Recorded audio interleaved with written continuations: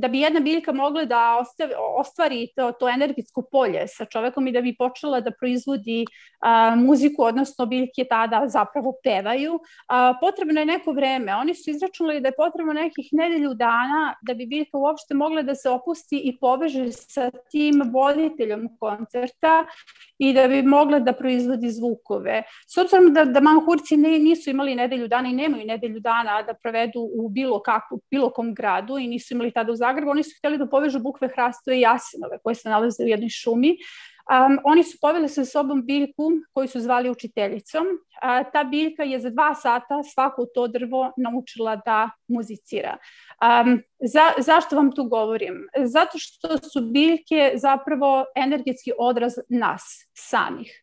Um, ukoliko pristupate biljkama sa agresivnim namerama, bez obzira da li se to odnosi na njih lično, na susednu biljku ili na insekt, na bilo koje biće, u njihovom okruženju biljke to osete i u tom momentu na agresivnost reaguju tako što padaju u nesvest. Vi morate toga da budete svesni kada a, pričamo o poremeću pretorskog lanca. Zašto vam to govorim? Što su biljke velike učiteljice i one uopšte nisu nezaštićene.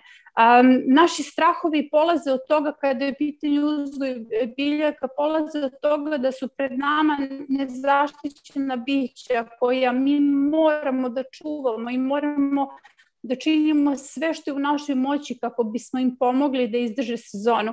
A zapravo ispred vas su veliki učitelji koji te kako mogu vama da pomognu da prevaziđete detinstva ili, ili dalje. Dakle, oni mogu da budu i tekako dobri i motivacioni učitelji. A, što znači, ako pričamo o poremeću predatorskog lanca, ja o tome govorim samo zbog vas lično, kako se ne bi našli kako ne biste bili iznenađeni tokom sezone ako vam se nešto desi, da znate i da očekujete.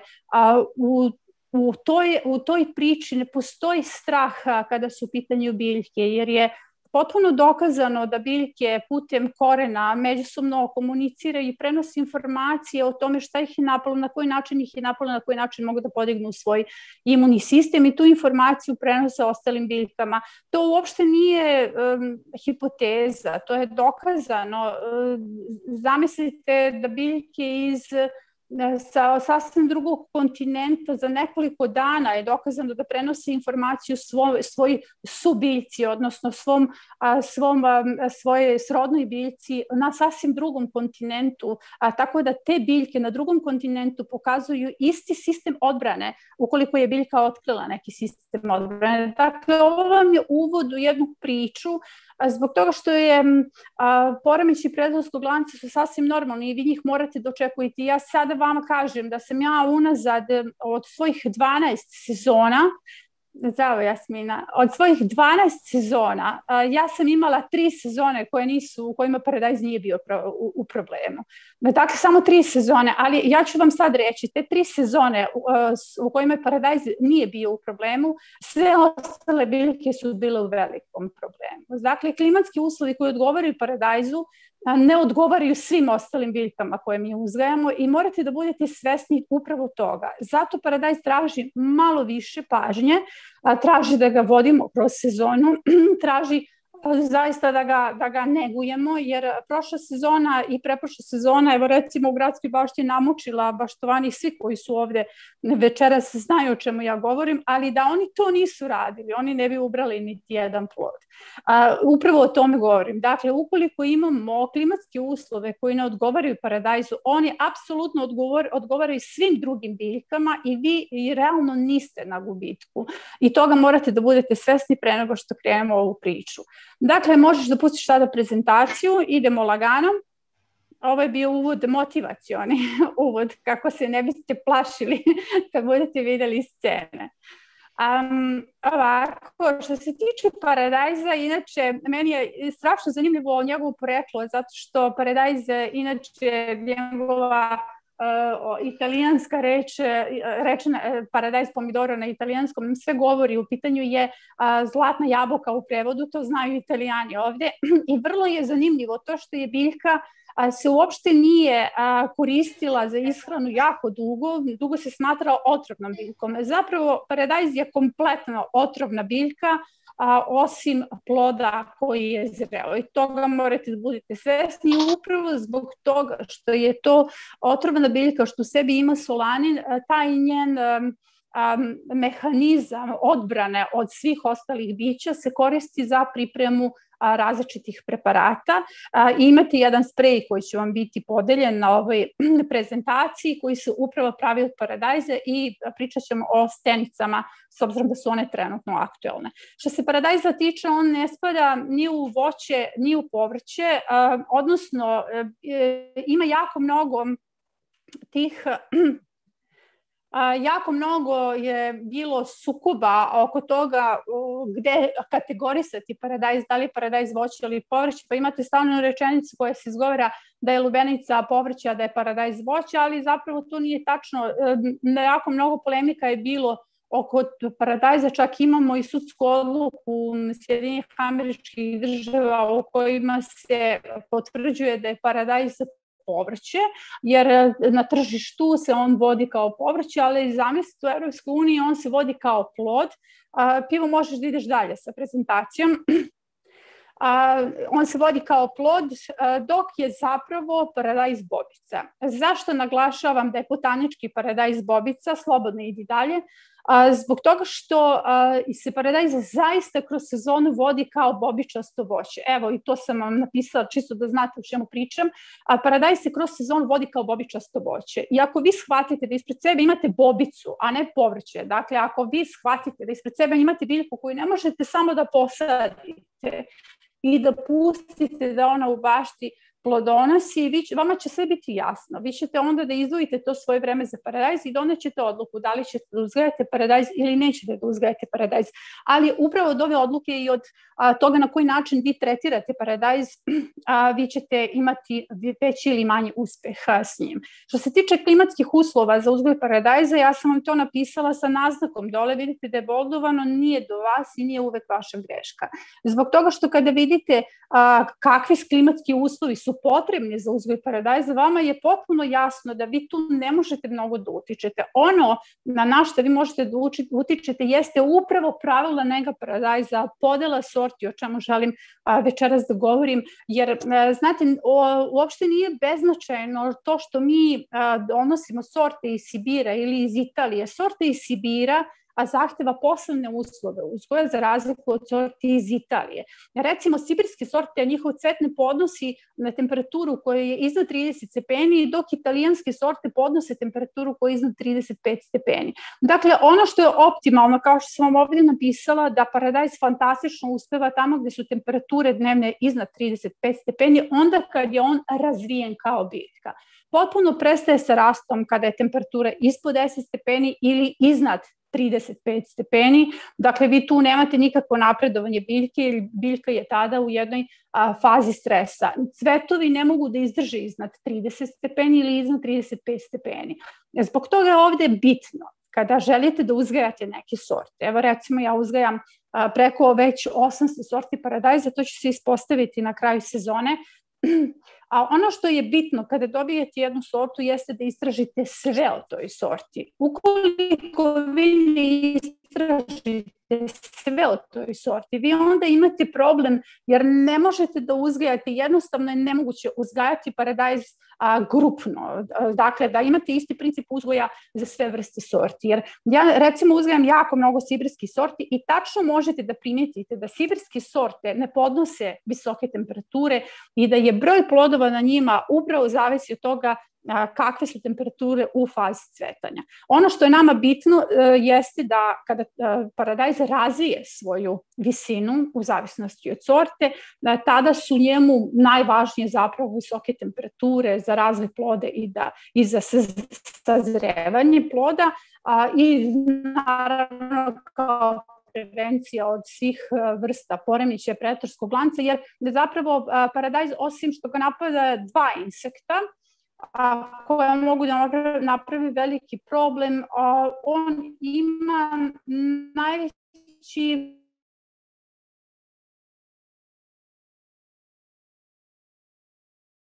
a, narušavanja predatorskog lanca a, u odnosu na, na gljivice. I to je nama zapravo najveći problem. Imate ovde mnogo preparata.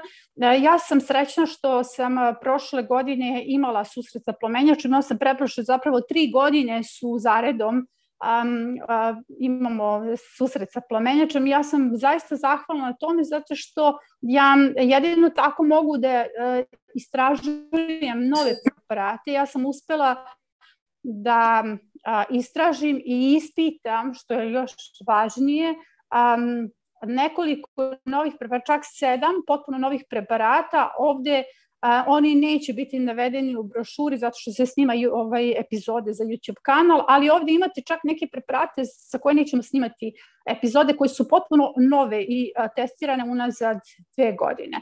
Dakle, o tim preparatu to ćete vidjeti na kraju a, prezentacije. Znači, kada pogledate ove a, klimatske uslove za uzgoj paradajza, ono što je najzačajnije jeste prvo taj stav, jer ja kompletno kao motivator, kao neko ko je tu da ukloni vaše strahove, jer ćemo mi da uzgojimo paradajz, mislim, e, na kraju bez ode, ukoliko se plati, prati um, sam, sam sistem ishrane koji je vrlo bitan kod paradajza i ukoliko ste potpuno svesni toga da vi morate da se posvetite paradajzu više nego drugim biljkama, znači apsolutno 50% više nego što se posvećujete drugim biljkama, vi ćete imati plodove bez obzira na to a, da li a, imamo recimo plamenjaču u bašti. Jer se to dešava meni, ja uvek imam plodove bez obzira a, da li je u pitanju plamenjača.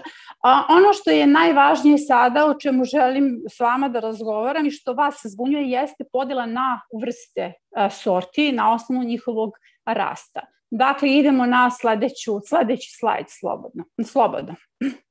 Ono što vas najviše zbunjuje jeste šta su to determinantne i, i determinantne, indeterminantne sorte, odnosno determinantne sorte, sorte ograničenog rasta i neograničene indeterminantne sorte. Um, sorte koje imaju neograničeni rast zaista mogu da rastu neograničeno i na vama je da vi kanališete njihov rast.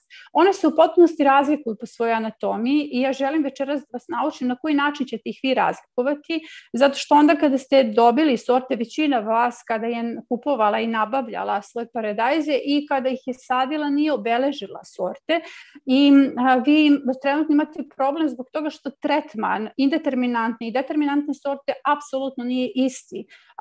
Paradajz, postoji jedna čitava grupa baštovana koja, odnosno ajde recimo jedna škola baštovanstva koja insistira na tome da se paradajze uopšte ne dire i da se njemu ne skidaju zapreci. A ja ne pripadam toj školi zato što je to zaista pogrešno prakse pokazala u više navrata, jer a, kao što sam rekla, paradajz je bobice i te kako morate da mu se posvetite kao što se posvećujete jednom voćnom grmu. A, ako imate voćku ispred sebe, vi tu voćku morate da kanališete u toku sezone ukoliko želite da u skladu sa apsolutno neodgovarajućim klimatskim uslovima za tu vrstu dobijete plodove jer vi u suprotnom nećete imati plodove, imaćete slabu aeraciju, odnosno prozračenost u predelu lista i na taj način imamo ve, mnogo veći problem sa gljivicama nego što bi inače imali ako na pravilan način vodimo paradajz. Ono što nas, ono što je bitno kada je u pitanju podela sorti na determinante i determinantne jeste pre svega a, njihovo, a, njihova stasnost. A, vidite, a, ključni, ja kada uđem u neki plastenik, a, inače ja ne uzgajam u plastenicima, veliki sam protivnik plastenika i staklenika, jer tu ne može da se posljednje sklad s prirodom, ali s obzirom da vodim logistiku ra, na različitim imanjima i da ljudi pokušaju da naprave svoje bioplastenike, a, ja u startu vidim grešku i nepoznavanje paradajza, jer ako se determinantna sorta stavi u plastenik, ja u startu znam da ti ljudi ne znaju ništa o paradajzu, jer determinantne sorte ne mogu ići u plastenik. Razlika između ovih sorti, osim anatomije koju ćete vidjeti, koju ću vam detaljno objasniti, jeste i stasnost. Dakle, determinantne sorte mnogo ranije sazrevaju i one imaju kraću vegetaciju, zato što su one male one su, to su grmovi koji prvo ne zahtevaju puno vremena da naprave tu svoju listnu masu i njihove cvasti, odnosno četkice se nalaze odmah na vrhu. Upravo je to razlika između determinantnih i determinantnih sorti. Jeste što se četkice, a vidjet ćete kasnije na anatomiji, ja sam malo pripremila slajd koji pokazuje anatomiju paradajza, da vi prepoznate tačno šta, šta se kako zove i šta gde treba da tražite. Dakle, tačno se vidi da se ta determinantna sorta, njena, njeno stablo završava cvetom. Eto, to je ovde ključno. Dakle, njeno se stablo završava cvetom i nema dalje. Ona ima nekoliko cvasti, 5-6 cvasti, i, ali ta, tu biljku takođe moramo da kanališemo jednim delom zbog aeracije. Ona a, brže završava vegetaciju iz razliku indeterminantnih sorti a, koje prvo rastu visoko, a, njihove cvasti se nalaze na jednom stablu ili dva stabla uh, i o tome ćemo pričati na koji način ćete voditi svoj paradajz i vi ste tu odgovorni da u skladu sa ranom sadnjom paradajza ili kasnom sadnjom paradajza radite dekapitaciju vrha, odnosno da režete, pincirate vrh paradajza i na taj način ograničite rast. Upravo to želim da vas naučim večeras, kako ćete da, da kanališete svoj, kako ćete orezivati svoj paradajz i kako ćete orezivati rodne grane, odnosno a, cvetne grane, kako biste što pre došli do plodova. Taj mehanizam, te, ta tehnika vođenja paradajza koju meni tu pomaže puno to što sam ja voćar pre svega i što ja a, orezujem voće i ja tačno znam i tačno doživljavam paradajz kao bobicu, a pomaže mi da kanališem i da dođem do plodova bez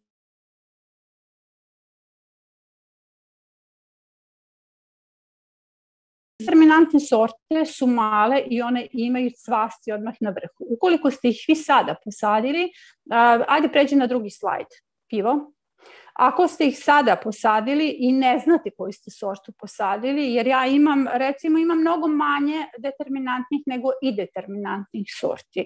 A, mnogo je više visokih sorti sa neograničenim rastom i bilo bi dobro da upravo te determinantne sorte koje su sklonije a, poremećaju pre gljivicama. Dakle, one su niske žbunovi, imaju manje aeraciju i vrlo često su čak izvor gljivičnih poremećaja u bašti, jer se kod njih prvo dešava gljivični poremećaj, bez obzira na to, znate, ja još uvek nisam u tih 800 sorti, znači ne, ne, ne govorim sad tačnoj cifri, ali znate 800 plus sorti je veliko iskustvo. Ja još uvek nisam srela paradajz koji je otporan. Dakle, svako ko vam kaže da postoji paradajz koji je otporan, to jednostavno nije tačno. Postoje neki hiper hibridi koji su a, recimo nešto otporniji nego ostale, ostale, ostale sorte, ali ja ne uzgajam hibride, ja ovde govorim o starim sortama a, koji, od kojih, bez obzira što će vam neko reći, ha, pre tri godine pokrenula akciju, a to je da mi svi uzgajivači u komentarima izbace 10 sorti koje su bile najotpornije na njihovu sezonu. Ja sam tih 10 sorti, ja sam napravila presek tih 10 sorti, dakle nekih 20 uzgajivača starih sorti paradajza mi je ostavilo komentar. Ja sam izdvojila sve te sorte i uzgajala u, u prošle godine i nijedna nije pokazala otpornost. Što znači da, zaista mora, to sve zavisi od toga na koji način uzgajam od klimata, na koji način hranimo biljku, što znači da zaista ni u ovom slučaju nije do vas, uvek je do klimatskih uslova, jer pazite, od svih vrsta poremećaja plamenjača je nešto što može da vam a, uzme urod za jednu noć. Znači, bukvalno od jednog, jedne noći do deset dana vi možete izgubiti kompletan svoj trud. Ukoliko niste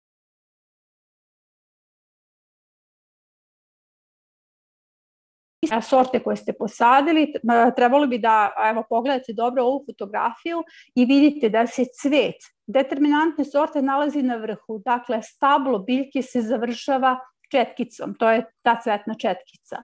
Za razliku od indeterminantne sorte koja se završava listom, odnosno a, šta, ne razumem pitanje, ukoliko to ćemo kasnije.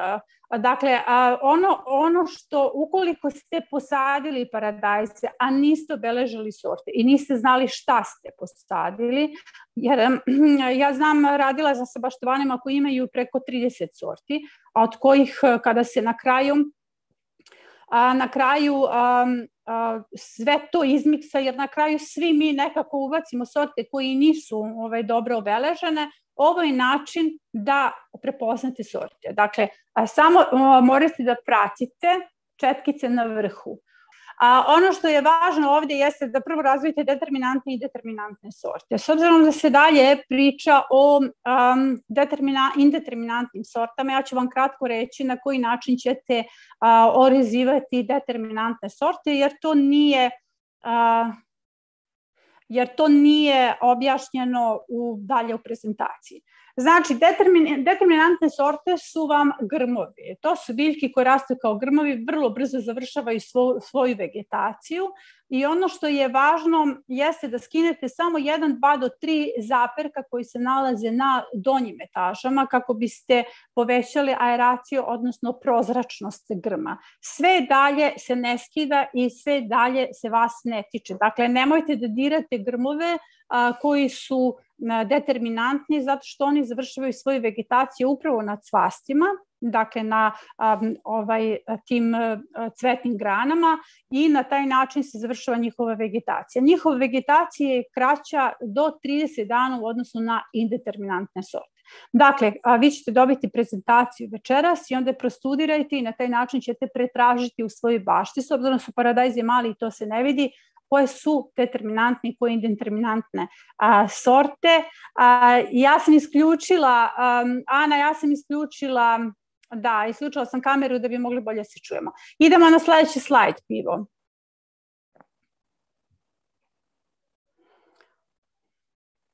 Na sledeći slajd.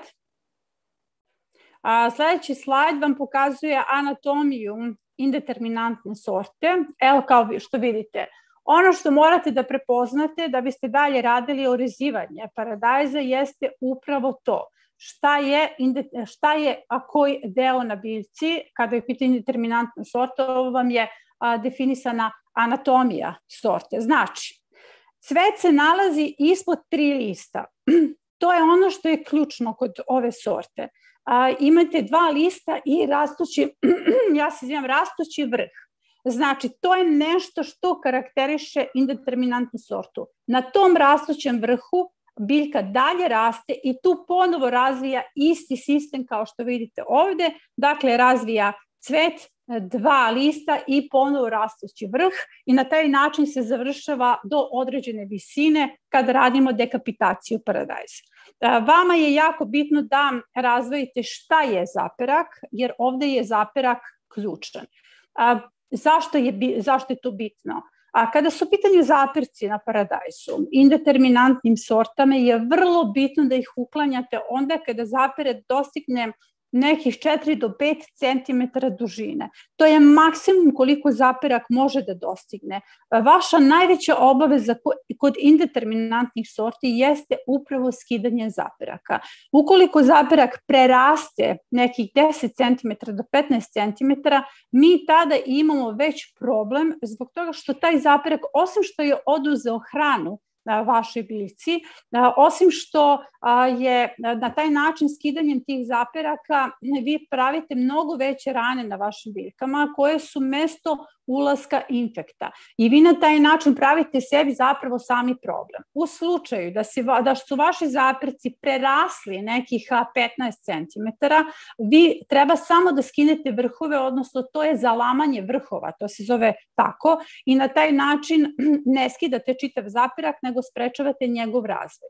Zašto je ovde bitno? A zapreci su nove grane koje vama sa jedne indeterminantne sorte oduzimaju hranu, a ta biljka ima mnogo duže vegetaciju onda, jer zamislite sada, ako imate jedno stablo na kome imate jako mnogo grana, te grane moraju da daju svoje plodove. Vi ćete tada mnogo kasnije doći do plodova, jer paradajz a, tek onda kada razvije 4 do 5 etaža plodova počinje sa sazrevanjem. Vi taj proces možete da ubrzate, ali je ovde najvažnije od svega da vi jednostavno a, a, zaperke a, koji se pojavljaju na indeterminantnim sortama pratite i orezujete na vreme. Dakle, pogledajte ovaj slajd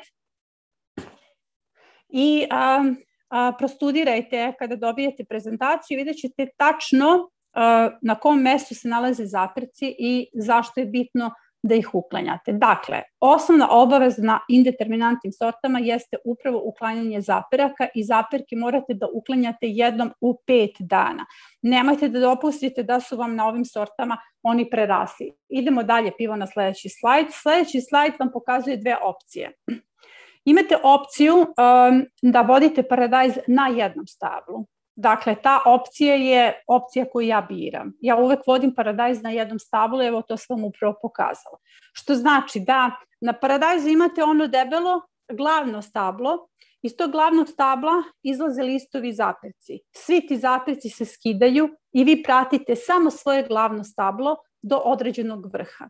Ukoliko birate da uzgajate sorte na dve vode, kako se to kaže, ili na dve grane, a, postoji opcija da se to izabere, ali ja vam tvrdim da rodnost neće biti veća, a da ćete sebi samo zakomplikovati sezonu, zato što će se, se nećete snaći sa dve grane paradajza, ali se može desiti da vam u jednom momentu paradajz pokaže dve grane koje su dominantne, koja će ići jedna sa jedne, jedna sa druge strane, i vi ih dalje nastavljate da vodite jednako kao da su u pitanju dva zasebna stabla.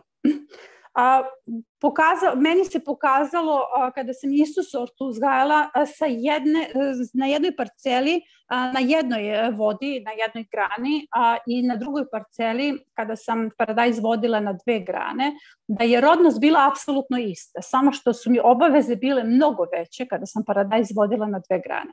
Ukoliko se desi da paradajz sam pokaže, to se dešava kod nekih sorta volovskog srca, da paradajz sam pokaže tu taj potencijal da a, formira dve glavne grane, znači sam se račva na jednom mestu, vi ste u obavezi da to prepustite paradajzu i da na taj način vodite paradajz jednako kao da su u pitanju dva zasebna stabla.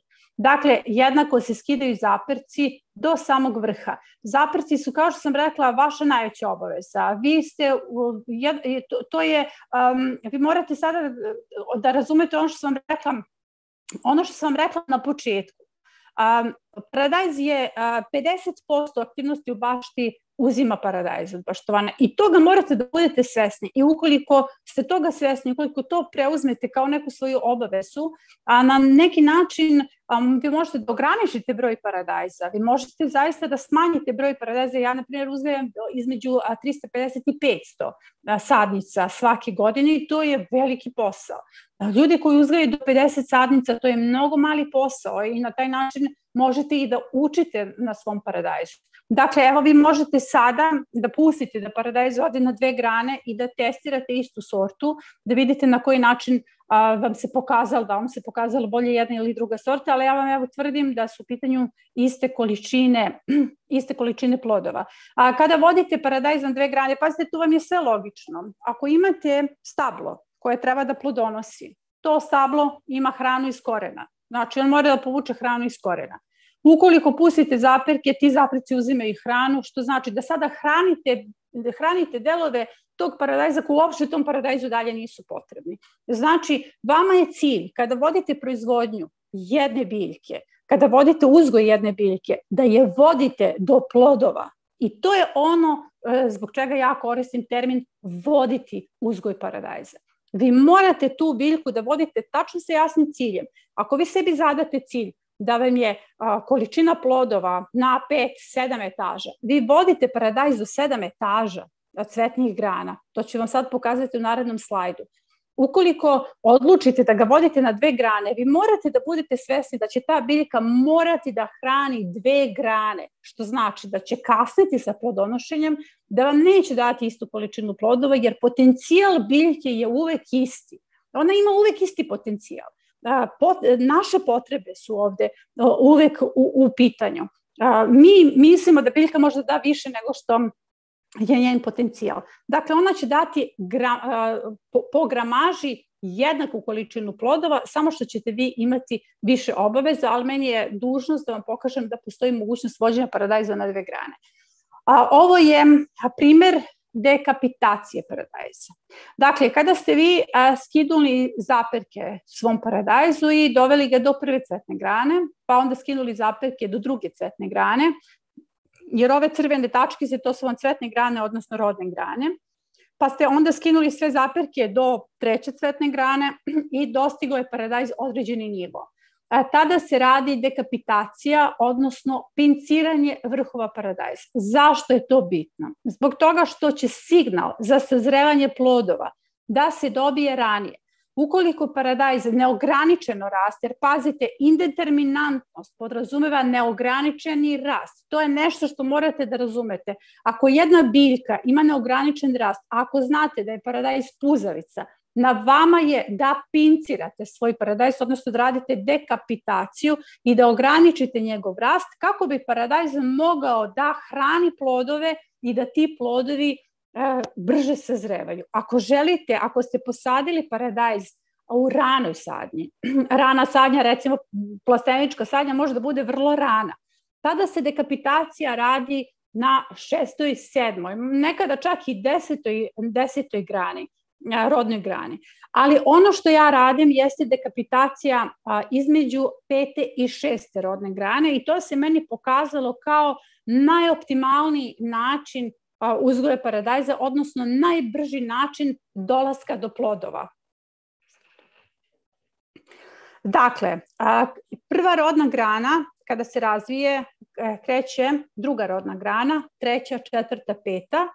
Iznad pete grane režu se vrhovi, ostavljaju se samo dva lista, Dakle, vi vežete, režete onaj rastući vrh koji vam je objašnjen s razlogom na prethodnom slajdu i tada biljka više ne raste. Tada se kompletna hrana koju biljka uzima iz tla usmerava u plodove. To je vaša obaveza tokom sezone kada je u pitanju vođenje indeterminantnih sorti tokom sezone. A, dekapitacija vrhova se različito radi a kada su u pitanju rane sorte, kod ranijih sorti koji se ranije ubace u baštu, recimo one sorte koje sam ja krajem aprila ubacila u baštu, ja ću njihovu dekapitaciju da radim možda tamo kod sedme grane. Dakle, samo pratite cvetne grane, jer vaše cvetne grane ćete se, će se sad a, oploditi, formirat će prve plodove, pa će razviti druge cvetne grane, pa treće. Pratite do pete cvetne grane i kada formira petu cvetnu granu, ne plodove, nego cvetnu granu, vi ćete onda da a, prekinete, da pincirate taj vrh i da obezbedite da, da biljka da adekvatnu količinu plodova, odnosno da se sva hrana usmeri u, u a, proizvodnju plodova. Jer ako je vama cilj proizvodnja plodova, a ne dekorativna biljka u bašti, onda ćete sebi zadati taj cilj i uložit ćete i vreme i energiju od skidanja zapiraka, pravilne ishrane paradajza i usmeravanja rasta paradajza tokom sezona. Dakle, ovo vam je osnovno znanje kada je u pitanju usmeravanje stabla. Da, ja, e, jako je bitno jer ja sam, e, e, evo prošla sam u bašti a, prošle nedelje i videla sam toliko mnogo zaperaka koji se sad već ne mogu rešiti. Ti zaperci se sad više ne mogu rešiti. Dakle, ako vam je zaperak ojača, gotovo jednako kao stablo, vi njega ne smete da režete do dna, zato što tada pravite velike rane. Vi jedino možete njemu da izražete vrh, dakle onaj cvetni vrh, da on dalje ne može da raste. Ali vi ste izgubili energiju za svoj paradajz. Vi ste jednostavno zapustili paradajz i on će mnogo kasnije, čak 20 dana kasnije da plodonosi. plodonosi. Nekada je to bitno, kada imamo naročito problem sa plamenjačom, vrlo je bitno dovesti biljku što ranije do a, perioda zrelosti. Ovo, ovo su tehnike koje spašavaju meni biljke unazad i plodove unazad nekoliko godina s kojim, u kojima se suočavam sa plamenjačom, jer jedino na ovaj način pinciranjem vrhova i orezivanjem cvetnih i rodnih grana vi možete zaista da izvučete veliku količinu plodova. Ja sam i pored pomenjača prošle godine imala na stotine kilograma paradajza, zato što sam upravo koristila tehniku usmeravanja paradajza tokom sezone, jer to vam je kao da pravi radite projekat. Dakle, svaki paradajz je vama projekat, vi imate zadati cilj, cilj su vama plodovi do kojih ćete doći ranije, cilj je doći što ranije do plodova, jer kao što sam rekla, paradajz traži 150 dana vegetacije na prosječnoj temperaturi od 15 stepeni, što vi nemate. Dakle, imaju samo u Italiji, imaju Podgorici, ima Mostar, ima Irma. Mi to nemamo. Znači, mi sa našim svojim klimatskim zonama to nemamo. Što znači da mi moramo klimatsku zonu da prevarimo na neki način, da kanališemo paradajz, da ubrzamo njegovu vegetaciju, da apsolutno niti jedan a, a, a, energetska vrednost snage tog paradajza ne ide uzalud, nego je sve usmereno samo plodove i na taj način, ukoliko na ovaj način a, vodite paradajz tokom sezone, a sigurno ćete imati plodove bez obzira na plamenjače. Evo sad idemo na sledeći slajd, evo sad ću vam pokazati um, upravo fotografiju. A, u pitanju je primary colors, e, sorta je nešto sitnija, zato je sam manje pincirala rodne grane i evo ja vam sad upravo pokazujem kako sam ja sortu koja je bila prilično oštećena, to se ne vidi na ovoj fotografiji zato što a, je skin, skinula sam oštećene listove. A, ja sam uspela da izvučem kompletan ovaj rod i pored plomenjača. Dakle, nisam izgubila možda čak ni jedan paradajz zato što sam a, sve a, listove skinula u višku i usmerila hran, kompletnu energiju i snagu paradajza samo u plodove. Znači, evo tačno možete da brojite prva, druga, treća, četvrta i peta rodna grana i nakon toga je paradajz pinciran i kompletna snaga paradajza je otišla samo, inače je u pitanju kasna sorta, primary colors kasna sorta i ja sam uspela da skratim vegetaciju za neki 15 dana i da izvučem plodove bez obzira na plamenjaču. Ono što je bitno takođe kod a, para indeterminantnih sorti, jer ja, kažem, o njima pričam zato što su one, um, na njih imate 80%, mnogo manje je determinantnih sorti zastupljeno i one tako brzo završaju vegetaciju da, da nam često samo uzročnik gljivičnih poremećaja, plodove sa njih sigurno skidamo, beremo. Um, dakle, ono što je važno jeste skidanje listova. Kada počinjete da skidate viškove listova.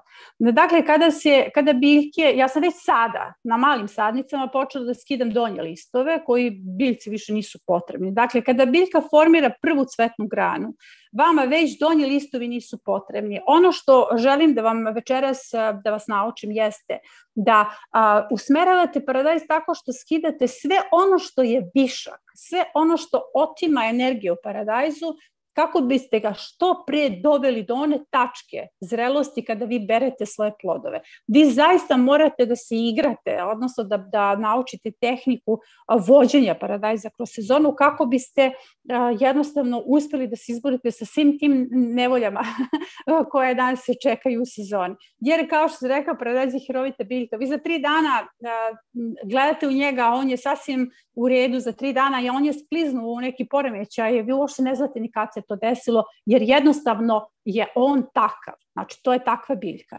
Dakle, apinciranje nakon pete a, cvetne, odnosno rodne grane se meni pokazalo kao najefikasnije, a kada su pite, kad je u pitanju skidanje listova sa biljke, i to je nekada spor rasprava, Znači, a, vi sada već kada formira cvetnu granu skinete dva donja lista koje su ispod cvetne grane, jer to više ne treba. Znači, samo razmišljate o tome da to, toj cvetnoj grani više ne treba. Biljka je uzela hranu preko tih listova, formirala je cvetnu granu i završila je svoje dalje rade bumbari i dalje je potrebno da se hrana umesto u te listove koje se nalaze ispod nje direktno usmerava u plodove. Dakle, sve dalje a, se, se vodi paradajz tako da se neguju listovi iznad te prve cvasti kako bi se formirala druga cvast i tako se ide dalje do pete grane. Kada su, ukoliko to niste uradili već, a paradajz je formirao prve plodove, vreme je da skinete donje listove i kako se formiraju plodove, A, otkinu se, vidjet ćete, ako su zdravi listovi, pravimo preparate od tih listova.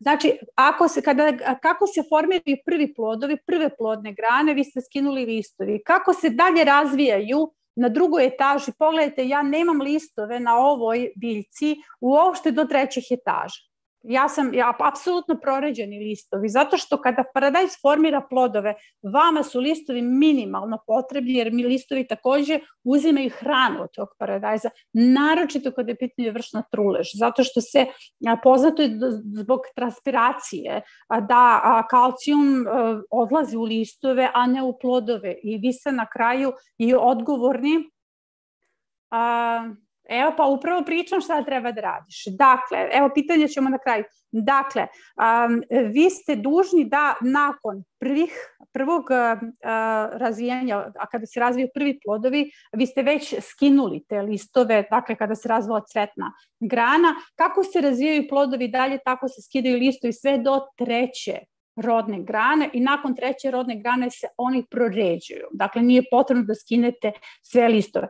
Takođe, morate da znate da paradajz sazreva putem svetlosti. Ukoliko vi njega sakrijete ispod lišća, paradajz će sazreti 10 dana kasnije nego onaj paradajz koji je izložen svetlosti.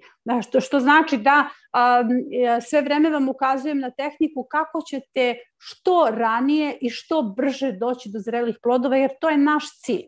Dakle, cilj je da premostimo sve te nevolje tokom sezone. Idemo na sledeći slajd, pivo. A, sad ćemo da vidimo. Sada a, želim da vas naučim još jednu tehniku koja će vas takođe do, dovesti u tokom sezone što pre do plodova, jer ponavljam, nama je cilj da premostimo, odnosno da prevarimo klimatske uslove, da dobijemo na vegetaciji i sve ono što se radi orizivanjem paradajza jeste zapravo jurnjava za što bržom vegetacijom. E, kao što sam rekla, vi ne uzgajate ukrasne biljke, vama su potrebni plodovi sa tog paradajza i ukoliko to shvatite kao svoj cilj, vi ćete onda da uradite sve ovo i doći do rodnih grana rodne grane se takođe pinciraju. Evo ja vam ovde sada pokazujem pinciranje cvetnih grana. Dakle, kada se formiraju prve cvetne grane, tada se rade i prva pinciranja. Pinciranje znači skrašćivanje broja cvetova, odnosno uklanjanje viškova cvetova u zavisnosti toga šta je nama cilj. Uh, ukoliko poznajemo sortu, jer ja sam na početku rekla, vi uzgajate različite sorte, o njima ne znate ništa i to je najveća greška.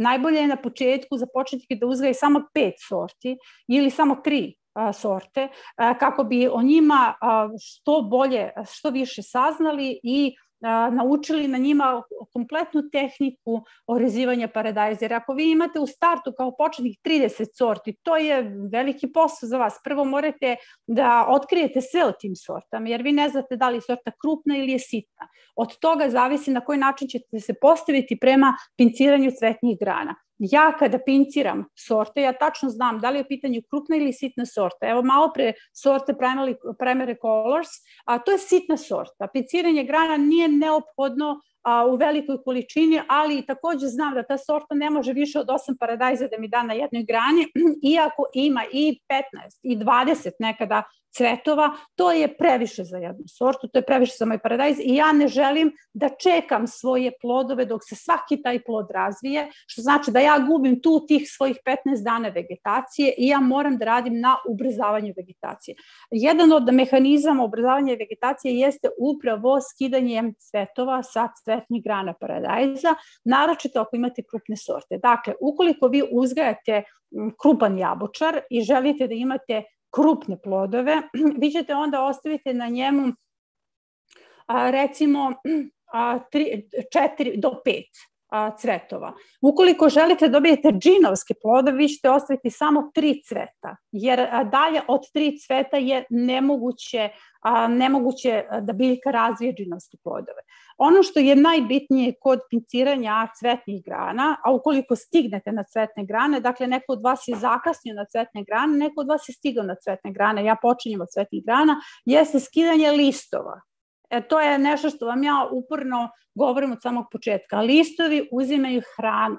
Ukoliko nisu potrebni, vi morate da odredite u kom pravcu će ići vaša biljka. Vi onda te listove uklanjate. Evo vama piše ovdje na slajdu da ova cvetna grana ima dva lista i ta dva lista, tačno sam vam obeležila, vidjet ćete na fotografiji kad dobijete prezentaciju, se moraju ore, odrezati, one se moraju skinuti jer oni nisu dalje potrebni a, ovim a, cvetnim granama. Dalje, kada otkrijete da je vaša sorta krupna sorta i da razvija krupne plodove, vi ćete onda tačno da vidite koliko ćete cvetova ostaviti na njoj, odnosno vi imate, ponavljam, vama je predaj za vaš projekat. Vi e, tačno znate šta želite da dobijete od tog projekta. Ukoliko vi zadate sebi cilj da recimo na pet nekih sadnica tačno uvežbate tehniku orezivanja da do krupnih plodova, vi ćete da uradite ovu tehniku, vi ćete onda da skratite cvetove i da na taj način skinete višak cvetova i da na taj način usmerite hranu samo na one cvetove koji će ostati i koji će se oprašiti. Ova tehnika je rizik ukoliko je oprašivanje na otvorenom. Zbog toga što zbog različitih promjena klimatskih uslova, dakle mi imamo nekada kišu, ukoliko je dana sunce i sutradan je kiša, mi nemamo dobro oprašivanje paradajza i zbog toga ovu tehniku preporučujem samo ljudima koji imaju miran period kada su pitanje klimatski uslovi nekih nedelju dana, evo kao što je konkretno sada, imamo neki vreli talas, što znači bez kiše, bez vetrova, jer a, kiša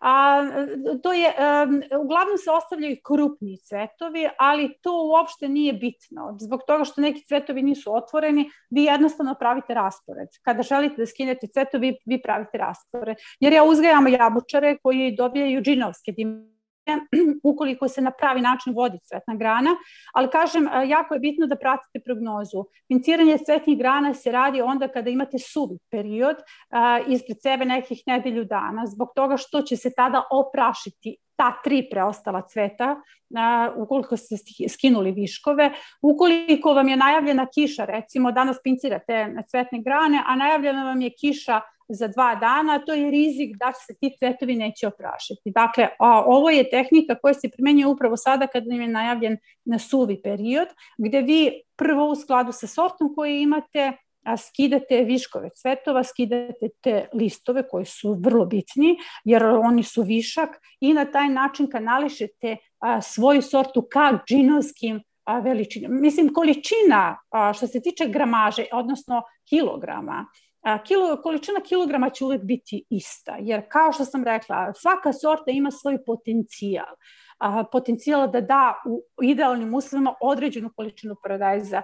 Emođinovske sorte jabučara će vam dati recimo 5 kg paradajza i neće dati više, bez obzira što je jedan a, može biti 800 grama, može biti čak do kilogram ukoliko radite ovu tehniku, ali će to biti raspoređeno tih krupnih plodova do, do pete etaže upravo toliko i na taj način ćete dobiti tih svojih pet, ajde recimo najviše 6 kg, jer to je potencijal biljke. Ali ovde je ključno gde možete zaista da dobijete vrhunske rezultate a, ukoliko na pravi način i na vreme oražete cvetne, cvetove paradajza. Zašto je to bitno? Zato što a, paradajz dalje ne usmerava hranu u viškove. Znači, ako imate 10 cvetova na jednoj um, cvetnoj grani realno u skladu sa tom sortom, to nije realno da izvuče jedan paradajz. Znači nije realno da vam da 10 plodova ukoliko su to krupni plodovi. Vi morate dakle realno da se postavite u odnosu na tu situaciju i da odredite koliko plodova može realno da da i kakve veličine vaš paradajz. Evo sada ćete vidjeti na sledećem slajdu pinciranje rodnih grana koje obavezno radim kada su u pitanju krupne sorte. A, ovo, su, ovo je vrlo krupna sorta a, koja, a, kao što vidite, evo ja sam vama iscrtala gde sam skinula grane, to se ovde baš i ne vidi dobro, ali će biti snimljen video kada je u pitanju a, pinciranje rodnih grana. Dakle, a, ja sam na ovoj rodnoj grani vrlo krupne sorte, a, je mnogo plodova. Kao što vidite, ja ovde imam razgranatu granu na kojoj je preko, kada sam izbrala 16 plodova. Znači, 16 plodova bi trebalo da da ova jedna rodna grana koja se razgranala na četiri podgrane. A, nije realno da ja dobijem krupne sorte, a, kad, krupne plodove ove sorte i da ima 16 plodova što znači da će moj paradajz, ako ja ostavim 16 plodova, da potpuno bude zaključan, recimo u vegetacijonoj sezoni, samo da nahrani tih 16 paradajza, što znači da on ne može da ide dalje, on nema kapacitet da izgradi, da, da ovaj, nahrani dalje cvetne grane i na taj način ja obaram njegov imunitet. Da bih ja došla ranije do plodova, ja sam izrezala sve viškove grane i dođe, ide na sledeći slajd i došla do ove situacije. Znači, došla sam samo do pet plodova. Ovo vam je rezultat nakon nedelju dana. Na prethodnoj slici imate a, plodove koji su se formirali, koji su bili sitni i a, koji su imali jako mnogo, evo kao što vidite, jako mnogo grana sa strane i formiranih plodova predajza. Kada sam ih skinula za nedelju dana je rezultat ovo. Dakle, ja sam ostavila, slagala sam vas malo pre šest. Evo vidi se šest plodova. Idemo dalje. A, idem da, na sledeći slajd.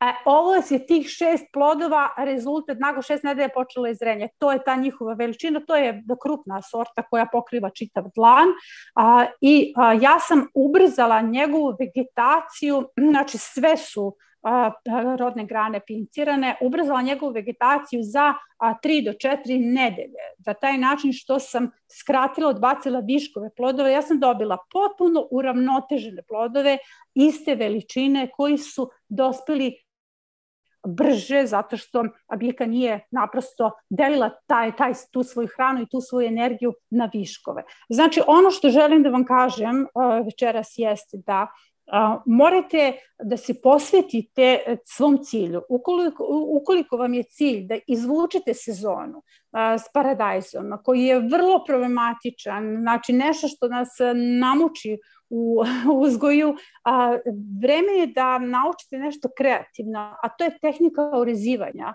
a, paradajza koja je zaista kreativna, jer a, pogledajte ove etaže plodova, ovo su dve biljke koje imaju na po šest plodova na donjoj etaži. On je imao istu tu količinu plodova na pet etaža kada je on pinciran, dakle ja sam njega radila dekapitaciju paradajza, skinula sam, vidite, njemu su svi listovi skinuti, znači ja sam, ja sam uklonila sve ono što je višak od ove biljke, kako bi ona bila prozračna i a, kako, bi, kako ne bi trošila dalje energiju. I ja sam ubrala najveću količinu plodova usred plamenjače upravo sa ovih biljaka najmanje su bile oštećene. Dakle, najmanje sam imala a, problema s njima zato što su brzo dospevale.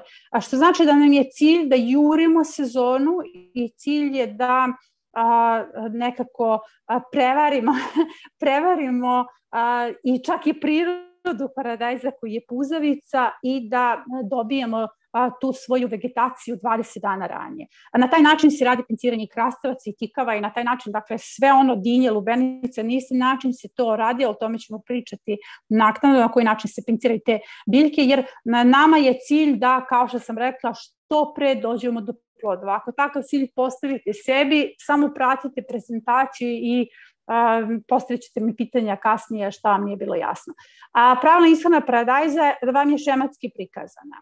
Da bismo prevenirali, evo to je to, pošto je najviše pitanja vezano za pravilnu ishranu paradajza. Um, ono što je najbolja prevencija uh, u uh, negovanju paradajza, uzgoju paradajza jeste osim orezivanja paradajza, o kome sam pričala malo pre, jeste i pravilna ishrana paradajza.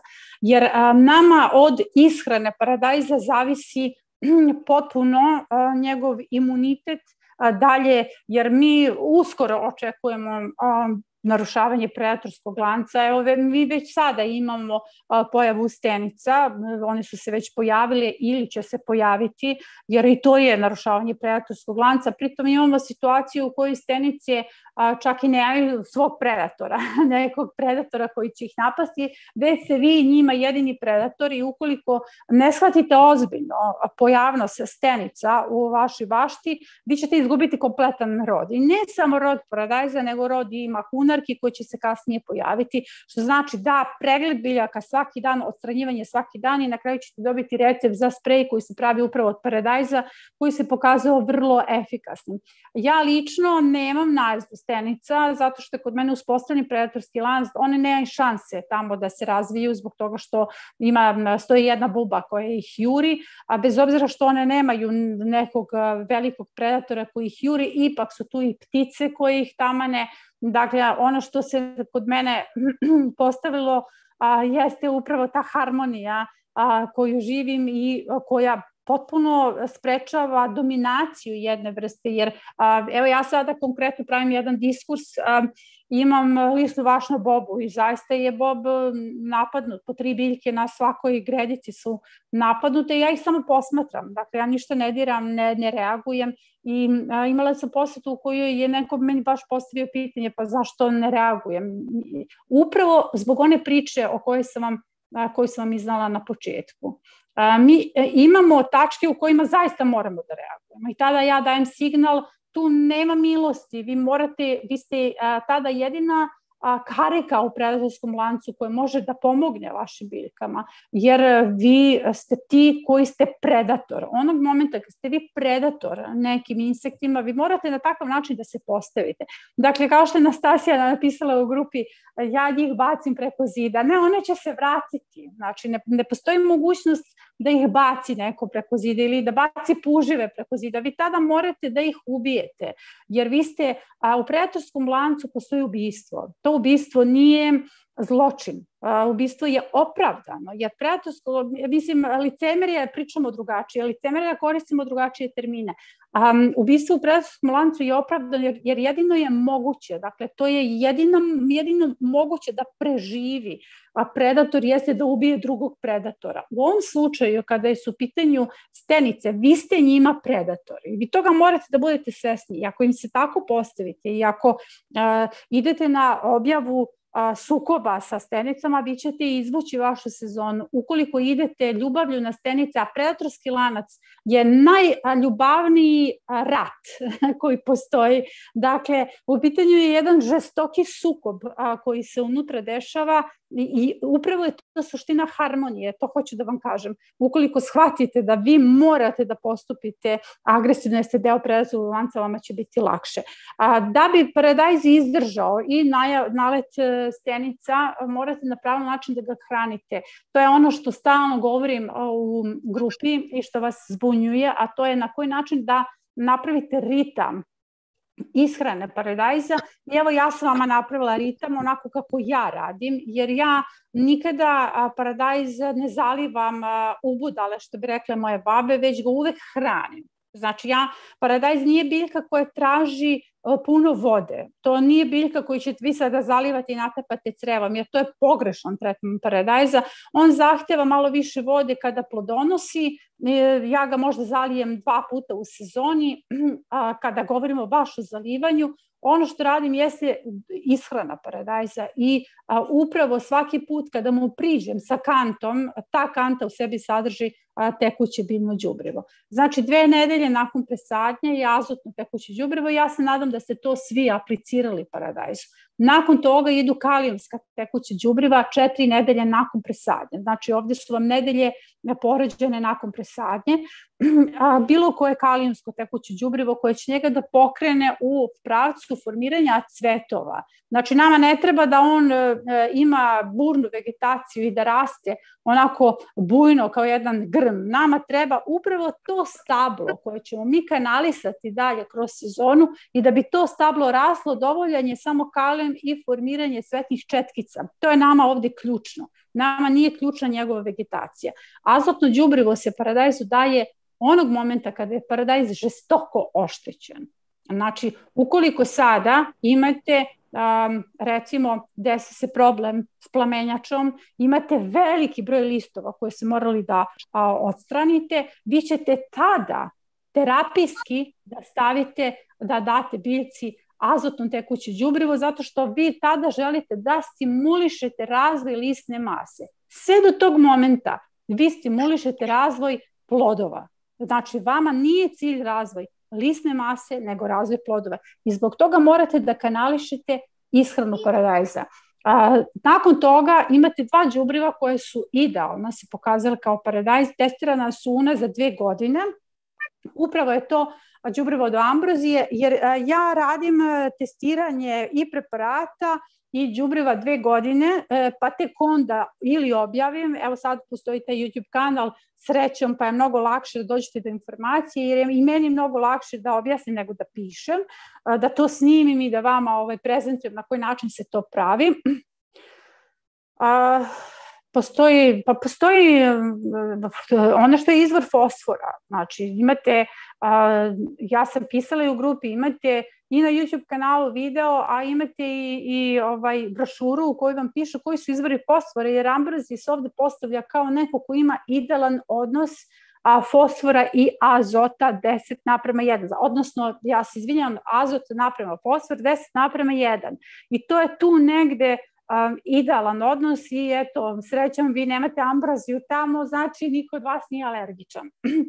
A, ambrozija a, kao đubrivo se pokazala idealna ne samo za paradajz, nego za većinu biljaka, zato što je ona nekako sveobuhvatna i ono što ja apliciram jeste a, Ja ću, to, ja ću na pitanja kasnije da odgovorim. Samo zapamti ove šta si pitala, pa ćete imati priliku da mi postavljate pitanja. A, sledeće džubrivo jeste imunološki eliksir. On je s razlogom postavljen upravo tu u osmoj nedelji, zato što a, od osma nedelja nakon presadnje očekujemo već a, razvoj e, plodova, donekle sazrevanje i prvih plodova. Dakle, tada već biljka ulazi u neku fazu kada je uražena. A, ono što može da prati razvoj paradajza jeste upravo alternarija, o tome ću pričati upravo sada kada govorimo o poremećaju predatorskog lanca i zbog toga je ključno da dalje, znači dalje u jednom a, recimo normalnom vođenju paradajza smenjujete ova tri đubriva. A paradajz je biljka koju hranite do kraja vegetacije. Znači, do onih posljednjih plodova koje berete, vi tu biljku hranite. I vraćam se na prvu rečenicu, a, uzgoj paradajza je odgovornost. Ukoliko želite da berete plodove, ne možete ga kao papriku ili kupus da ga postavite u bašti i da se njime ne bavite puno, jer zaista kupus kada posadite, zalijete, možete ili ne morate tekućim biljim džubrivom, on raste, razvija listove, nema oko njih, njega puno poslova, kao što nema oko paprike puno poslova, ne skidaju se zapirci, bukvalno ne morate ništa oko nje da radite, ali paradajz je neš, biljno biće koje zahteva fokus i kao što sam rekla, ono što se dešava ljudima koji ne prate instrukcije, jer kažem, ja e, sve ovo pišem na osnovu iskustva. E, to iskustvo je pokazalo da i pored plamenjača koja je žestoka, ja berem plodove. A, inače, već ljudi koji to ne rade, koji ne prate instrukcije, teško im je da se posvete paradajzu, e, ja isto tako razumem sve to legitimno, za jednu noć izgube kompletan, kompletan urod. Dakle, potpuno, kada se, e, recimo, prizori su takvi da se pojavite u svojoj bašti danas, sutradan imate spaljen paradajz. Znači, kompletno spaljen paradajz. I tu više nema pomoći. To se dešava kod paradajza koji nije uzgojen po biološkim metodama, koji nije pravilno vođen, pravilno hranjen i paradajz koji je tretiran različitim prevencijama, jer ja sam veliki protivnik prevencija. Znači, vi ne možete da koristite fungicide kao prevenciju. Vi možete sada pratiti različite grupe u kojima već počinje, ja zaista ulazim rekreativno, mentalno rekreativno na baštonske grupe, da bih videla kako je stanje Da, da, sada ćete imati priliku da čujete o tome, da vidim kako je mentalno stanje trenutno baštovana i ono što vidim jeste panika.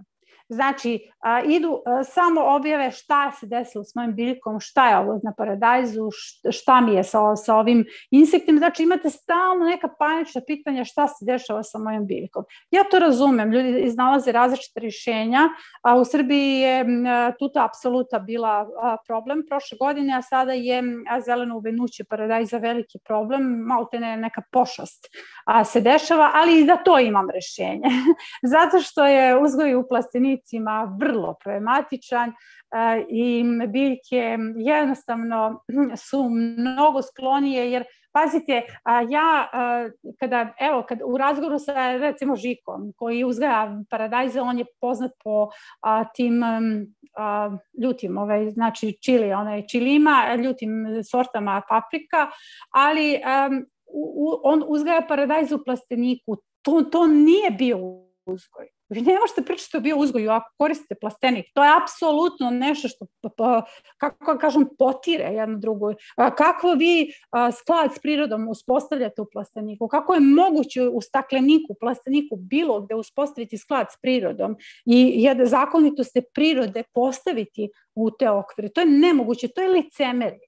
Znači, tu se pravi izbor. Ja imam organski uzgoj, organski uzgoj je vrlo upitan, danas za bio uzgoj je nemoguć u plasteniku. I zbog toga imamo veliko propadanje paradajza trenutno u Srbiji, znači masno se spaljuje zbog um, zelenog uvenuća. Meni se zeleno uvenuće konkretno nikada nije desilo i recimo da se neke do ih pormeće o kojima ćemo sad pričati ne dešavaju u biouzgoju, ali vi morate nešto njima da znate. Znači, pravilan raspored ishrane je druga drugi element prevencije, odnosno konkretno treći.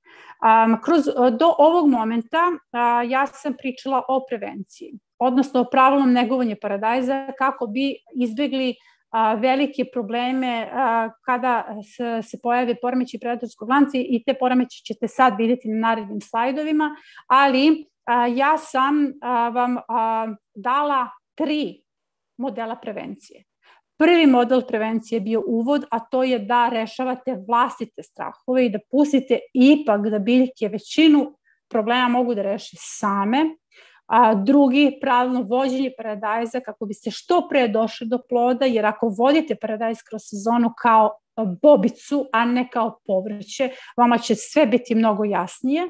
I treće, pravilna ishrana paradajza, jer a, biološki tretman paradajza je ovde ključan. Malčiranje se podrazumeva. Ukoliko ne malčirate svoj paradajz, vi zaista imate problem, a, jeste jednu biološku metodu izbegli i na taj način vaš paradajz ima mnogo manji imunitet. Dakle, sve ovo o čemu sam pričala radi na razvoju vašeg imuniteta, što je meni bitnije sada, jer vi vrištite biljke, ne vrište, i a, a, razvoj imuniteta paradajza. Idemo sada na poremećaje predatorskog lanca, a koji se mogu desiti vama u biouzgoju. Idemo na sledeći slajd. Antrakoza ploda a, je nešto što se često dešava krajem vegetacije, a, naročito ako imate a, kišni period. Znači, vi morate sada da gledate ove scene, ali nije to ništa strašno, recimo ovaj plod je i dalje upotrebljiv. Antrakoza ploda neće napraviti veliku štetu, javlja se u biouzgoju, često je kod kišnih perioda, jer zna tamo negde o krajem avgusta da se okiša i tada se pojavljuju ovakve promene. Imate male blage plesneve promene koje se šire ukoliko ne reagujete na vreme, odnosno ne pokupite taj svoj paradajz, a, iako je tek počeo da sazreva. Znate, imate jako mnogo recepata kako možete da upotrebite paradajz koji nije potpuno zreo. A, ja sam eto izbacila na stranici upravo zbog ovoga, upravo zbog a, gubitaka koje nastaju kod različitih vrsta poremeća. Izbacila sam jako mnogo recepata na koji način možete da upotrebite i nezreli i poluzreli plod, a, kako dalje da se time bavite, pa ćemo o tome da pričamo u nekom od narednih predavanja. Ovo je gljivična infekcija znači poremeće gljivičnog predatorskog lanca. Oštećenja su vidljive na skoro svim zrelim plodovima koji se nalaze, koji su pokriveni lišćima, koji su izloženi konstantnoj vlazi. A, okrugle vodenaste mrlje se brzo šire, a, plodovi su upotrebljivi, kao što sam rekla, za jelo, ukoliko ih odmah uberete. Oštećenja se vide prvo na donjim etažama, ukoliko ih niste skinuli.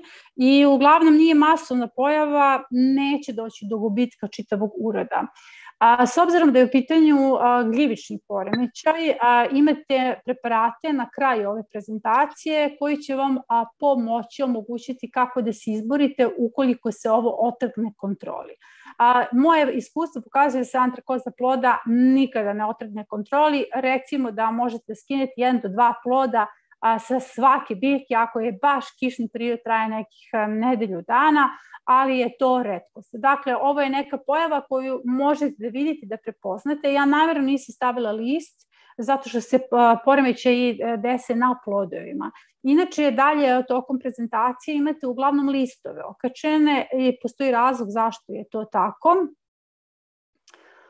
Um, zašto je to tako? Um, To je zbog toga što a, kada a, tokom poremećaja predatorskog lanca dođe do oštećenja plodova, a, vi ste tu prilično zakasnili. A, vama je cilj da sačuvate plodove. Znači, a, sve vreme ja vam govorim cilj kod uzgoja paradajza da cilj kod uzgoja paradajza jesu plodovi. Vi ga uzgajate zbog plodova, ne zato što je u pitanju um, ukrasna biljka. Znači, vi morate da se fokusirate na vlastiti cilj. Ako je cilj uzgoj plodova, prve promene se dešavaju na listovima. Vi plo, promene, a, ukoliko zakačite promenu vidite, dakle, evidentirate promenu na svom paradajzu, na plodu, vi ste zakasnili, to je kasno, vi ste izgubili plodove. Dakle, prva stvar jeste a pregled paradajza tokom svaka, naročito ukoliko ima kišni period, vi morate pregledati paradajz svaka dva dana, znači ja ga pregledam svaki jednom, jednom dnevno, zbog toga što se uvek desi neka promena, jer paradajz je vrlo osetljiv kada su u pitanju te promene vremena. Znači, to je biljka koja tada uvek dolazi u stres. Znači, antrakoza ploda vam je evo sada prezentovana, u pitanju je biljka koja, u pitanju je poremećaj koji se dešava, ali kao što sam rekla, neće vam napraviti veliki problem, neće vam uzeti kompletan urod. A sledeći slajd, kao što sam rekla, idu listovi. Zašto? Jer promene se dešavaju na listovima. Ovo je nešto što donosite sa pijaca. I zato ili iz plastenika, a, iz kojih rasadnika, iz kojih donosite vaše biljke. A, bakterioza, u pitanju je bakterijska, bakterijski poremeći. Inače, a, bakterijski, bakterijskih poremeći imamo mnogo manje a, kada su u pitanju a, poremeći kod paradajza, ali su oni a, fatalni. Znači, vi ne možete da se izborite. Nama je najveći problem da se izborimo sa virusnim i sa bakterijskim poremećajima. A virusni se nekako mogu držati rajačni imuniteta. Kada su u pitanju bakterijski poremećaji, vi tu gubite kompletan urod a, i budite svesni da ste to doneli iz rasadnika zbog toga što se sve a, vrste bakterijskih poremećaja prenose putem sadnog materijala i putem semena. To je nešto na što stalno ukazujem kada je u pitanju kupovine rastovnog materijala. Dakle, jedino vi, ukoliko imate vlastito seme ili ukoliko imate seme koje ste kupili, možete da garantujete, dakle ono kupili upakovano, upakovano, možete da garantujete sebi da nema bakterijske infekcije i zbog toga radimo upravo onu vrstu fermentacije o kome sam pričala na jednom od predavanja. Mi radimo fermentaciju semena upravo da bi prevenirali ovakve probleme. Jer a, ova vrsta bakterije ostaje na semenu i prenosi se putem semena čak 8 meseci. Znači, 8 meseci ostaje na semenu, što znači da vama apsolutno opravdano ova bakterija dolazi putem semena, putem tih silnih razmena koje se rade, što ja stalno govorim, ne možete sa svakim da se razmenjujete, niti ja od svakog uzimam seme. Ne vi možete seme da uzimete samo onda ako ste sigurni da je određena fermentacija. A ta fermentacija o kojoj sam pričala prošli put, ona se vidi na osnovu semena. Ja kad vidim seme, ja znam da li je rađena fermentacija ili nije. Kada mi neko pošalje prljavo seme na kome se vidi pulpa, ja to seme uopšte ne ubacujem u svoju zemlju.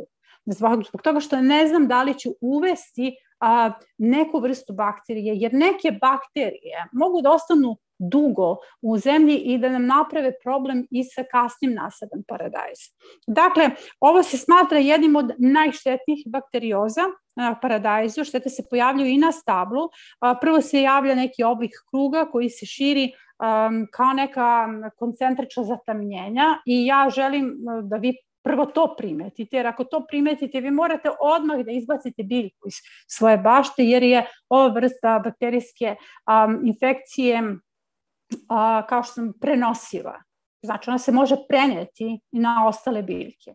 Kao što sam rekla, ne morate o tome da brinete ukoliko imate vlastiti rasadni materijal, ukoliko ga niste kupili u nekom rasadniku, ukoliko ste ga kupili, ja sam ovo videla, ja sam videla ne samo bakterijsku uvelost i rak paradajza, nego jednak, jednak problem i kod paprika, gde je, vi, vi tu ne možete ništa, jer antibiotici za paradajz su vrlo skupi, vrlo štetni, vi, vama nisu dostupni, dakle, antibioticima se paradajz leči jedino u velikim skupim plastenicima, svi ostali e, obični smrtnici nemaju para za takvu vrstu terapije. Um, ovde čak e, kod bakterijske uvelosti ne pomaže puno ni a, ishrana, a, ni prevencija koju smo radili zbog toga što, kao što sam rekla, vi to prenosite putem sadnog materijala.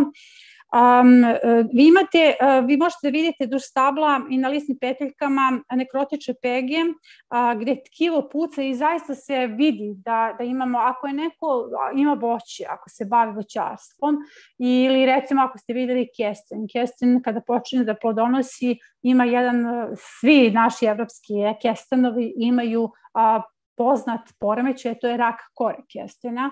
E to na isti način izgleda. Dakle, ja sam još uvek u potrazi za kestenom koji je otporan, a na isti način imate poremeće kao što se, ako se bavite, ako neko od vas ima voće, postoji poremećaj koji se zove rak kore, a, kruške, jabuke, šljive i na isti način to izgleda, dolazi do pucanja stabla i čitava se biljka suši. Vi tu nemate nikakvo rešenje osim da ovu biljku eliminišete iz svoje bašte. Idemo dalje. Znači, prevencija je da koristite vlastiti rasadni materijal, a crna pegavost paradajza, a crna pegavost paradajza je čest poremećaj. A to je nešto što će se desiti možda već sada kod vas i nemojte da vas brine. Alternarija je, ja nju baš volim, u pitanju je gljivica, A, ja nju volim zato što je nekako gospodska gljivica. Um, ona ne uzima, nikada neće napraviti, ona može da bude zapuštena i da napravi veliku štetu. A, mnogo veću štetu pravi kada se udruži sa plamenjačom i tada se one poigraju ozbiljno sa paradajzom. Inače, a, ovaj, crna pegavost se javlja na krompiru i uglavnom je krompir taj koji je nama, a, recimo, o, sejalište alternarije i uglavnom se alternarija prenosi sa tih gomolja krompira ukoliko kupujete krompir i ono što je još, još važno da se napravi jedna paralela između crne pegavosti i plamenjače. S obzirom da one imaju slične simptome, ali apsolutno nije ista fatalnost u pitanju, jer crna pegavost vama nikada neće uzeti veliki urod, ona će biti tu da vas dovede u zabludu. Znači, vi ćete, dok mislite da je u pitanju crna pegavost, zapravo vam može promaći plamenjača. Jer ja, recimo, uopšte ne reagujem na crnu pegavost. Crnu pegavost prepuštam imunitetu biljke, tada radim isključivo na imunitetu biljke, uklanjam listove, poštrim režim orizivanja biljke i kada pojačam imunitet biljke, a, samo, samo malo da vidimo.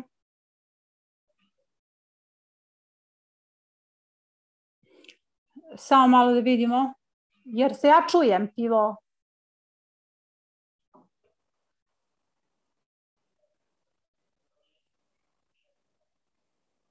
Izbačena sam. Jesam ja izbačena, ja sam tu. Um, dakle, se ja čujem normalno? Dobro, dobro. Znači, kada je u pitanju crna pegavost, ja ću vas sad naučiti koja je razlika između crne pegavosti i plamenjače i na koji način ćete odmah da razlikujete te dve gljivice. To je na osnovu ploda. Crna pegavost je gljivica koja se razvija na predelu kontakta ploda i peteljke. Na tom mestu se razvija crna fleka koja je karakteristična, vi ne može da vam promakne.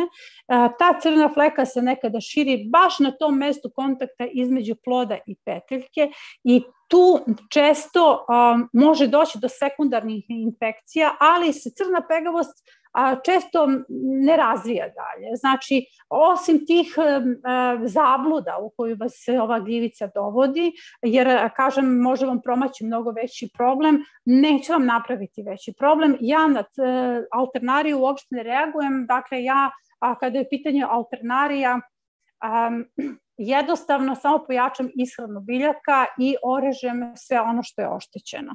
Idemo dalje. Evo ovo je zeleno uvenuće o kome sam vam pričala. A, to je nešto što se masno sada javlja u Srbiji. U pitanju je a, gljivica.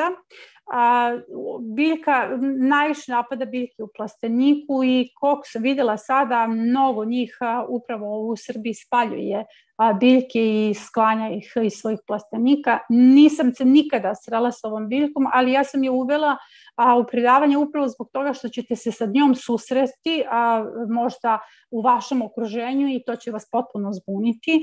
A, na ovu bolest su osjetljivi i paradajz i paprika i plavi patliđan, krompirom takođe se može desiti, lubenici, dinje, dakle gljivica napada a, sve vrste biljaka. A, dešava se sušenje pojedinih biljaka koje ukazuje na prisustvo zapravo gljivice. Znači, mi imamo naglo omekšavanje listova kao da je biljka jednostavno prosuta nekom vrelom vodom i ovo je, ovo je promjena koja se dešava baš naglo. Znači, ukoliko vi uđete u, u, svoj plaste, u svoju baštu, recimo, ili plastenik, jer neki od vas imaju plastenike, a biljka je sasvim u redu, znači, a u jednom trenutku a, vaša biljka je potpuno, znači sutradan je potpuno kao da je preko nje bačena topla voda. A, ove, ova gljivica se živi u zemljištu i u kontaktu je sa korenom biljke, a, preko korena biljke ulazi u tkivo, a, sasno je deo predatorskog lanca i ona se dešava samo kada su narušeni uslovi za uzgoj biljaka, odnosno kada je biljka pod velikim stresom. Kao što sam rekla, za 12 godina meni se ovo nikada nije desilo i potpuno sam ubeđena da biološko tretiranje tla i biološko tretiranje biljke sprečava razvoj nekih vrsta gljivica, a, jer ja bih volila eto da mogu da se sretnem s njom i da vidim na, na koji način se to a, rešava, ali kao što sam rekla, to je nemoguće jer a, taj odnos o kome sam pričala na početku, taj odnos, naš pristup a, predatorskom lancu, pristup biljkama, koje i biljke osete kao što oseti svako biće oko nas, daje rezultate, verite mi. Rezultati su takvi da čak i te gljivice koje su prilično agresivne postaju nekako dobri učitelji i ne uzimaju sve što bi mogle da uzmu zato što se oseti ta ljubavna energija. Znači, zeleno uvinuće je nešto što vam se verovatno neće desiti. Ako vidite u okruženju, znajte da je u pitanju gljivica i da je u pitanju poremećaj a, tretmana biljke. Idemo dalje. A, ovo su virusi. A, ja bih volila da prođemo tri virusa. Sada, zbog toga što je to nešto što se dešava a, često, virus mozaik duvana, u pitanju su ovakve promene na biljkama. Simptomi se razlikuju u zavisnosti od same sorte od faze infekcije, od uslova okoline. A kada su u pitanju virusni poremećaje, mi na njih zaista možemo da utičemo tako što radimo na imunitetu biljke. Za razliku od bakterijskih infekcija na koje mi ne možemo uopšte da utičemo, a mi možemo jedino da uklonimo biljke, jer je tretman i preskup i zahteva pre svega hemiju, a mi na virusne poremećaje možemo da utičemo, oni um, nikada neće napraviti veliku štetu, neće nam uzeti kompletan urod i kada se pojave prvi simptomi virusa mozaika duvana, mi a, moramo odmah da krenemo sa imunološkim eliksirom koga ćemo forsirati jednom nedeljno. Znači, ključ kod virusnih infekcija jeste ishrana. Um, ja vam pravim paralelu sa ljudima. Znači, kada su pitanje bakterijske infekcije, vi tu imate i antibiotik, imate terapiju. Kada je pitanje virusne infekcija, tu nemate ništa osim pravilne ishrane. Znači, samo se pojača ishrana, a, pojačavaju se različite vrste minerala koji mogu da podignu imunitet. Jedna od ključnih jeste juha od peršuna.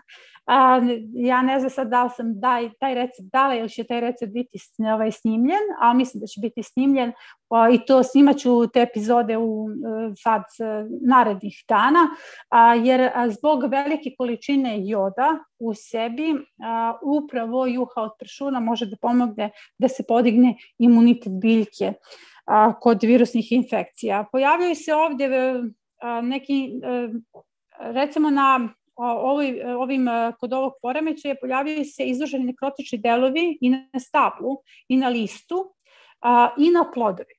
Ovo što vidite na ovom listu jesu prvi simptomi. I ono što a, vam govorim od početka jeste da vi morate da reagujete na prve simptome. A, a ukoliko ostavite da se zapusti bolest, vama će a, jednostavno, odnosno poremećaj, vama će jednostavno doći do gubitka, čak i možda i čitave rodne grane i a, vi ste izgubili taj svoj cilj, odnosno a, to svoje kretanje od vođenja paradajza do pete cvetne grane, odnosno pete rodne grane, izgubili ste jednu rodnu granu. Da se to ne bi desilo, bitno je da prepoznate prve simptome. Idemo dalje.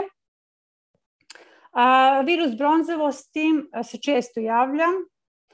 A, uopšte ovaj poremećaj a, U pitanju je, e, svi će vam reći da je opasna virusna bolest, e, odnosno virusni poremećaj, ali u bio, kod bioloških metoda a, ove virusni poremećaj neće napraviti veliki problem, odnosno u pitanju je jedna od uobičajenih virusnih poremećaja s kojima se možete sresti. On uzrokuje upravo kao što vidite promene na listu, takve promene se dešavaju i na zrelom, e, zrelom površću. Znači jednake promene upravo kao nekakve bronzane šare. Vi ste to mogli da vidite na paradajzima koji ima iskustva.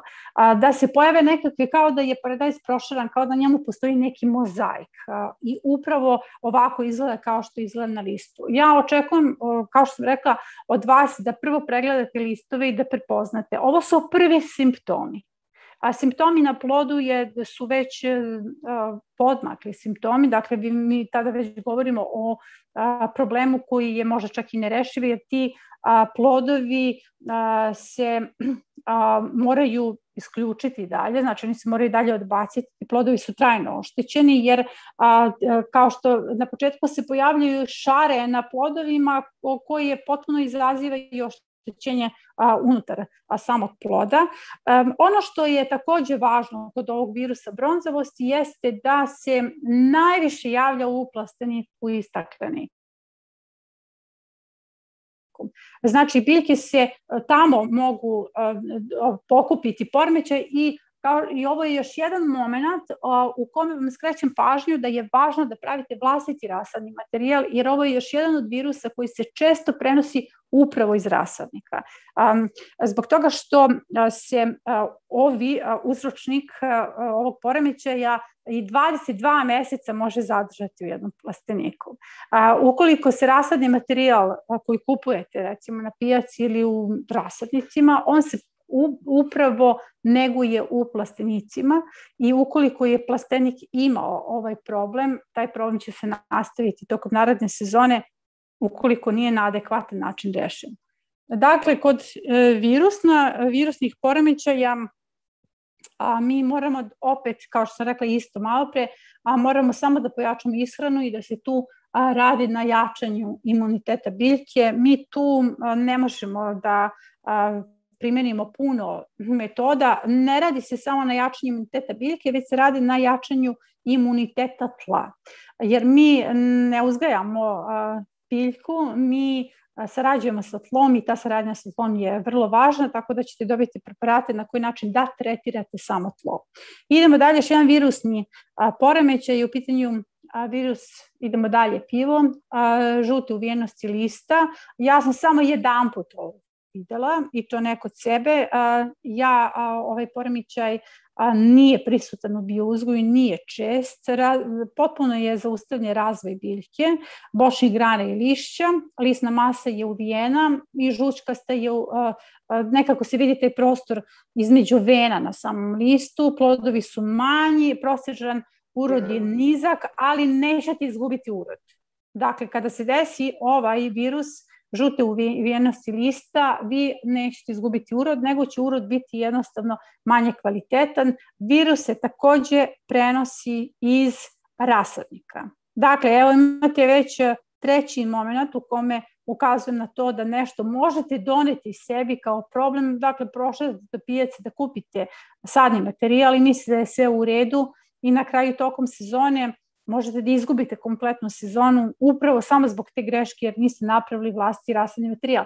I to je nešto o, o čemu, zbog čega se govori i zbog čega se toliko priča o proizvodnji vlastitog rasadnog materijala. Mi na taj način radimo prevenciju za mnoge vrste poremećaja jer vodimo biljku a, biološkim metodama od samog početka. Paradajz koji se vodi počeši od um, vrbenih grančica, dakle kada pravite auksin, kada koristite auksin, a od tog momenta kada razvijete njegov jak koren, od tog momenta kada ga biološki tretirate, kada on raste sa vama, vraćam se na prvu priču o emotivnosti biljaka i o tome gde se nalazi centar za emocije i svesnost, jer biljke su emotivna i svesna bića. Dakle, od tog momenta vašeg povezivanja vi radite na imunitetu vaše biljke. I zbog toga se neke vrste poremeće uopšte ne javljaju u biouzgoju ukoliko ste sami pripremili vlastiti rastni materijal. Idemo na sledeće siva trulež. A, često se javlja siva trulež kada su u pitanju, nije masovna, masovni problem, neće da, ovde se neće desiti da vam propadne kompletan urod, ali hoće se desiti da izgubite dva do tri ploda.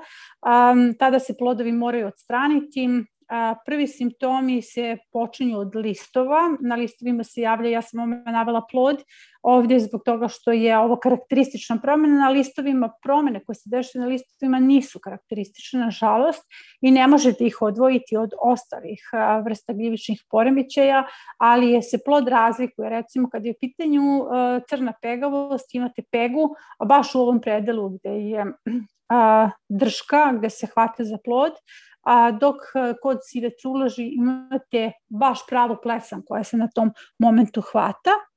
A ove se e, plesan može pokriti čitav plod. Znači, ukoliko ne reagujete na vreme, ne odstranite plod, ona će se preneti na kompletnu rodnu granu. A, poremećaj se javlja u pitanju gljivica, kao što vidite ima mnogo više gljivica nego ostalih vrsta poremećaja, odnosno predatora koji se tu negde igraju s nama i ovo možete da očekujete onda kada imate kišni period. Sada ću napraviti jedan, jednu digresiju, znači A, ono što je bitno kod uzgoja paradajza jeste da ste vi mirni a, kada je u pitanju sušan period. Sada, u ovom periodu vi osim usmeravanje paradajza, vi ne morate uopšte njega da pregledate, ne morate da pratite osim evo stenica koje imate, ali čim pada kiša i kako on raste, vi ste u obavezi da radite pregled paradajza jer se ovakve vrste gljivičnih poremećaja česte i moguće jedino kod pada temperature i kod visoke vlažnosti vazduha. Idemo dalje pošto je već puno sati. A, evo plamenjača, O plavenjači stalno govorim, a, u pitanju je a, fitospora.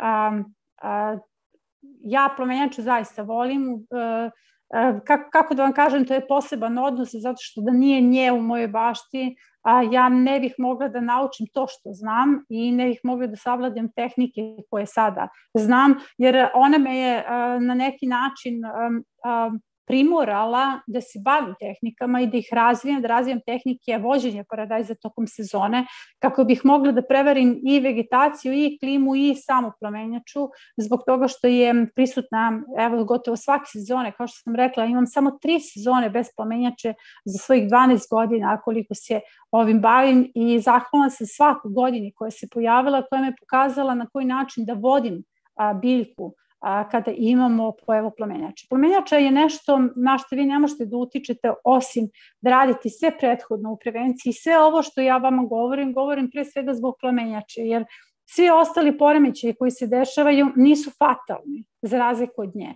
Kada se ona desi, mi zaista možemo da izgubimo, kao što sam rekla, kompletan urod za jednu noć, svako, ali ne i biobaštovan.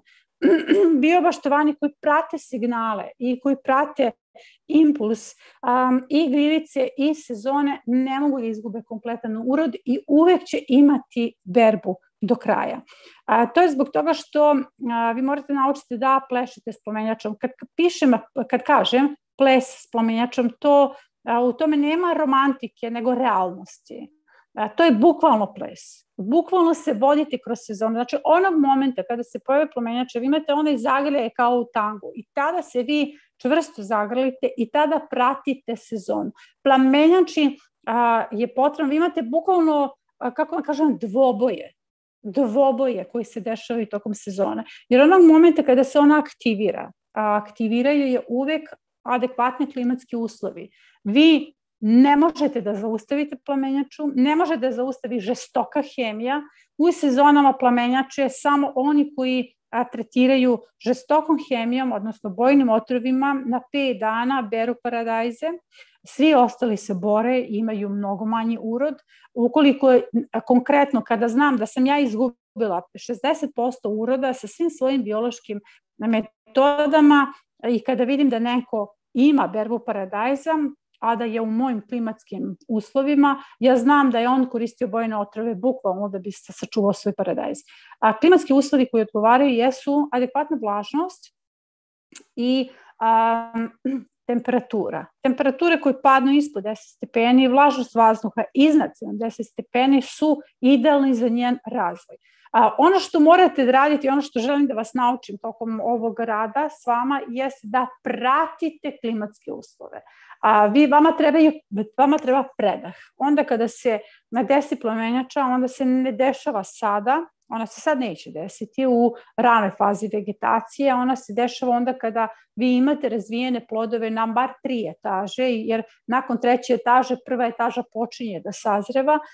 Vi u tom momentu, kada se ona pojavi, morate odmah da radite na a, tri nivoa. Prvi nivo da sebe smirite i da shvatite da je ona tu da biste od nje nešto naučili i da i tekako možete da savladate taj, taj vaš dvoboj, da možete da pobedite u tom dvoboju, jer pobeda je čak i na kraju kada se kada imate 60% oštećenja biljke, paradajz je tako vitalna biljka koja se oporavlja, vi morate onda da znate da će u onog momenta da ga prestanu uslovi za razvoj pomenjače, vaš paradajz da se oporavi i vi tada morate da budete spremni da upadate sa tekućim biljnim džubrivima koja su bogata azotom da um, pospešite rast lisne mase. Ja imam video na stranici na kome sam pokazala a, upravo to što se desilo, gde je jedan zid koji sam napravila od šerija, a, pokazala sam tačno a, moment, mesto na kome nisam a, sredila, dakle nisam skinula oštećene listove, pustila sam da promenjač odradi svoje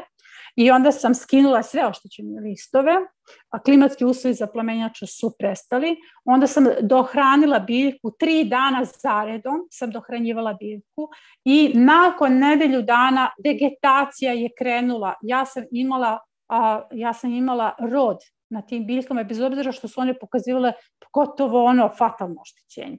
Hoću da kažem da nikad nije kraj. Mislim, eh, onog momenta kraj je onda kada vi kažete da je kraj. Znači, ne postoji sa pomenjačom situacija u kojoj ćete vi reći gotovo, ja sam se izgubio, a da se ispoštovali sve ono što sam ja govorila večeras. Ukoliko niste ispoštovali, vi nećete, vi, vi, vi jednostavno niste spremni da se borite. A hoću da na pojavu promenjače gledate kao na jednu, o, jedan izazov koji će se desiti, jer postoji preparati koji se tada koriste onog momenta kada se ona desi, a to vam je ovaj prvi list.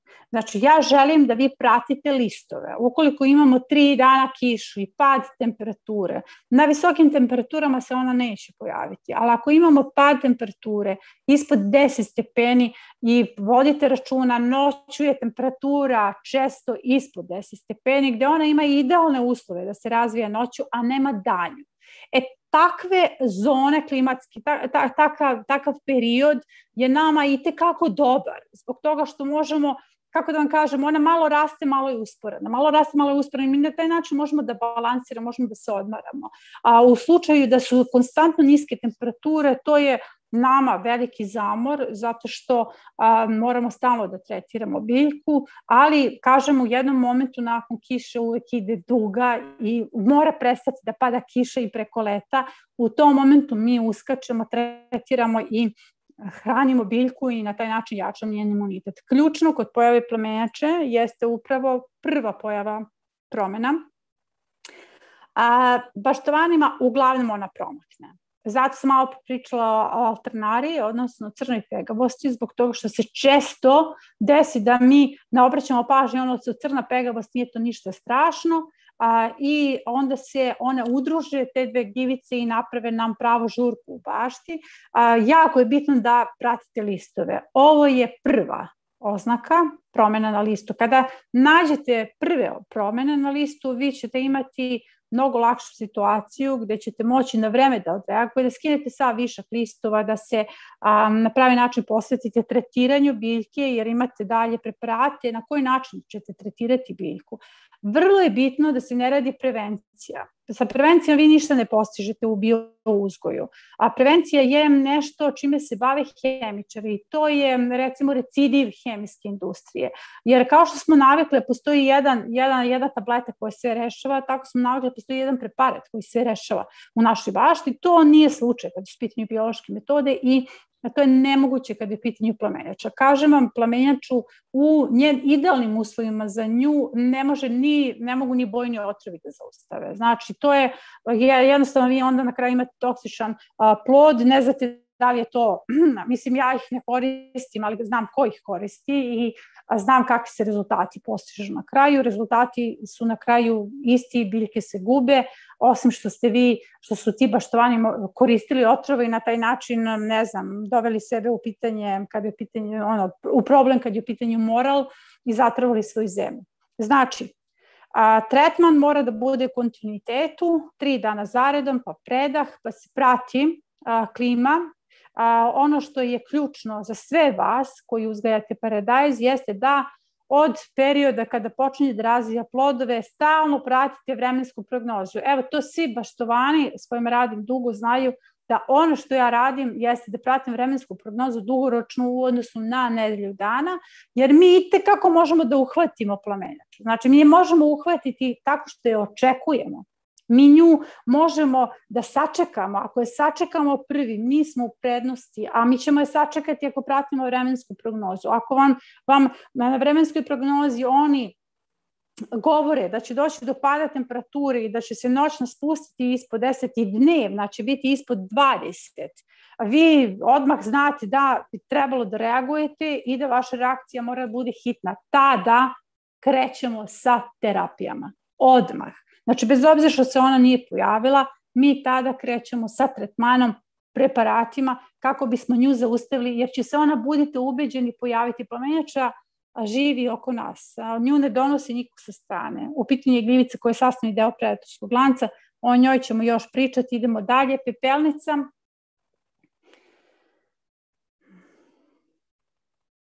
a, pepelnica je nešto a, na šta ja uopšte ne želim da vi reagujete, jer pepelnica je biljka, je, je u stvari gljivica, mene biljka, je gljivica a, koja je sasvim deo predatorskog lanca, koja ono što ova gljivica vam ukazuje jeste da je došlo do pada imuniteta vaše biljke. Ja pepelnicu smatram a, posmatra kao velikog i fantastičnog asistenta u biouzgoju, jer pepelnica je nešto na što svi reaguju burno. A, I to je nešto što a, kada, kada meni postave na pitanje, pošalju slike šta da, a, čime da tretiraju, ja odmah postavim pitanje jeste svesni koga ste pitali, jer ja a, ne predlažem tretman za većinu ovih poremeća, ja uopšte ne predlažem tretman osim pravilne ishrane, a naročito kad je u pitanju pepelnica, jer ukoliko vi ostavite a, divlje biljke u vašem okruženju, mišjakinja, a, a, mrtva kopriva, one su hvatači pepelnice. Ukoliko vi radite jednu rustikalnu biobaštu, a, vi imate mnogo hvatača pepelnice, jer mnogo je bolje da vam neven koji se nalazi pored, recimo tikvice ili paradajza, a, ukaže na to da je vaša biljka lošeg imuniteta nego svaka bilja, nego vaša biljka lično, recimo paradajz. A, jer a, ti hvatači koji se nalaze u okruženju paradajza, koje a, ja ostavljam u tim planovima, jer kao što sam rekla, svaki vaš svaki vaš projekat ima integralni sistem zaštite. Niti jedna biljka nije tu bez razloga postavljena. Tu imate jako mnogo biljaka koji se međusobno štite i koji a, su hvatači. Jer bilo bi neodgovorno da mi a, očekujemo da nam jedna biljka radi kompletan posao u bašti. To je nemoguće, jer to tako nije u prirodi. U prirodi vi imate kompletan jedan sistem koji se postavlja, sistem zaštite. E, upravo je to i ovde. Ukoliko imate a, mrtvu koprivu pored vaših biljaka, a ne sterilne bašte koje su, a, čak i kada su bašte malčirane, one mogu da budu sterilne, očišćene od sve jednog korova i to je pogrešno. Vama trebaju korovske biljke koje će hvatati pepelnicu. A, te korovske biljke vam ukazuju da je a, upravo vaša biljka u problemu, da je došlo do pada imuniteta. Ukoliko se pojavi pepelnica često se pojavi na tikvicama, nekada se pojavi na paradajzu, redko u biouzgoju. A u biouzgoju ja nisam videla dva puta pepelnicu na paradajzu, zato što biološki tretirano tlo je imunološki jako stabilno i um, te biljke su stabilnije i imaju ređe pad imuniteta, kao što sam rekla, ako od početka vi vodite vašu biljku i uzgajate je, nemojte da reagujete na pepelnicu. Bilo bi pogrešno agresivnim metodama a, tretirati pepelnicu, jer na taj način ćete naljutiti ogroman jedan deo predatorskog lanca. Pepelnica drži u ravnoteži mnogo gljivica, pa čak i samu plamenjaču. Ona je često u bašti pokazatelj da će doći do problema sa plamenjačom i nju možete a, uglavnom da a, tretirate kao glasnogovornika iz, iz tabora gljivica, koja kada se pojavi vama ukazuje da morate da pojačate ishranu biljaka. Ništa osim toga ne treba da radite biljkama koje na sebi imaju pepelnicu. Ja imam nekoliko tekstova koji su posvećeni pepelnici, imam poseban odnos s njom, zato što, kao što sam rekla, ja, ja kada njenu pojavnost vidim kao najbolju nameru, kao signal da očekujem promene i kao ona meni najlepši, na najnežniji mogući način, jer velnica zapravo predivno izgleda kada je vidite na biljkama, a na najlepši način mi ukazuje na to da moram da pojačam ishranu. Ako se pojavi na tikvicama, znači da su tikvice ugrožene a, i na taj, na taj način preveniram problem. Dakle, u pitanju je vaš glasnik iz gljivičnog sveta i na taj način je tretirajte. Česta je pojava kod u biouzgoju, na čemu sam vrlo zahvalna. Idemo dalje. Čest poremećaj koji se dešava kod paradajza jeste plesnivost lista paradajza. Simptome se javljaju samo na listu i to pre svega na donjim listovima, a poremećaj se može širiti dalje na gornjem listu. A, prvo dolazi do pojave simptoma na licu lista, u vidu svetlo-zelenih ili žutih zona koje su nekako nepravilnog oblika i po tome možete da prepoznate da će se ovo desiti.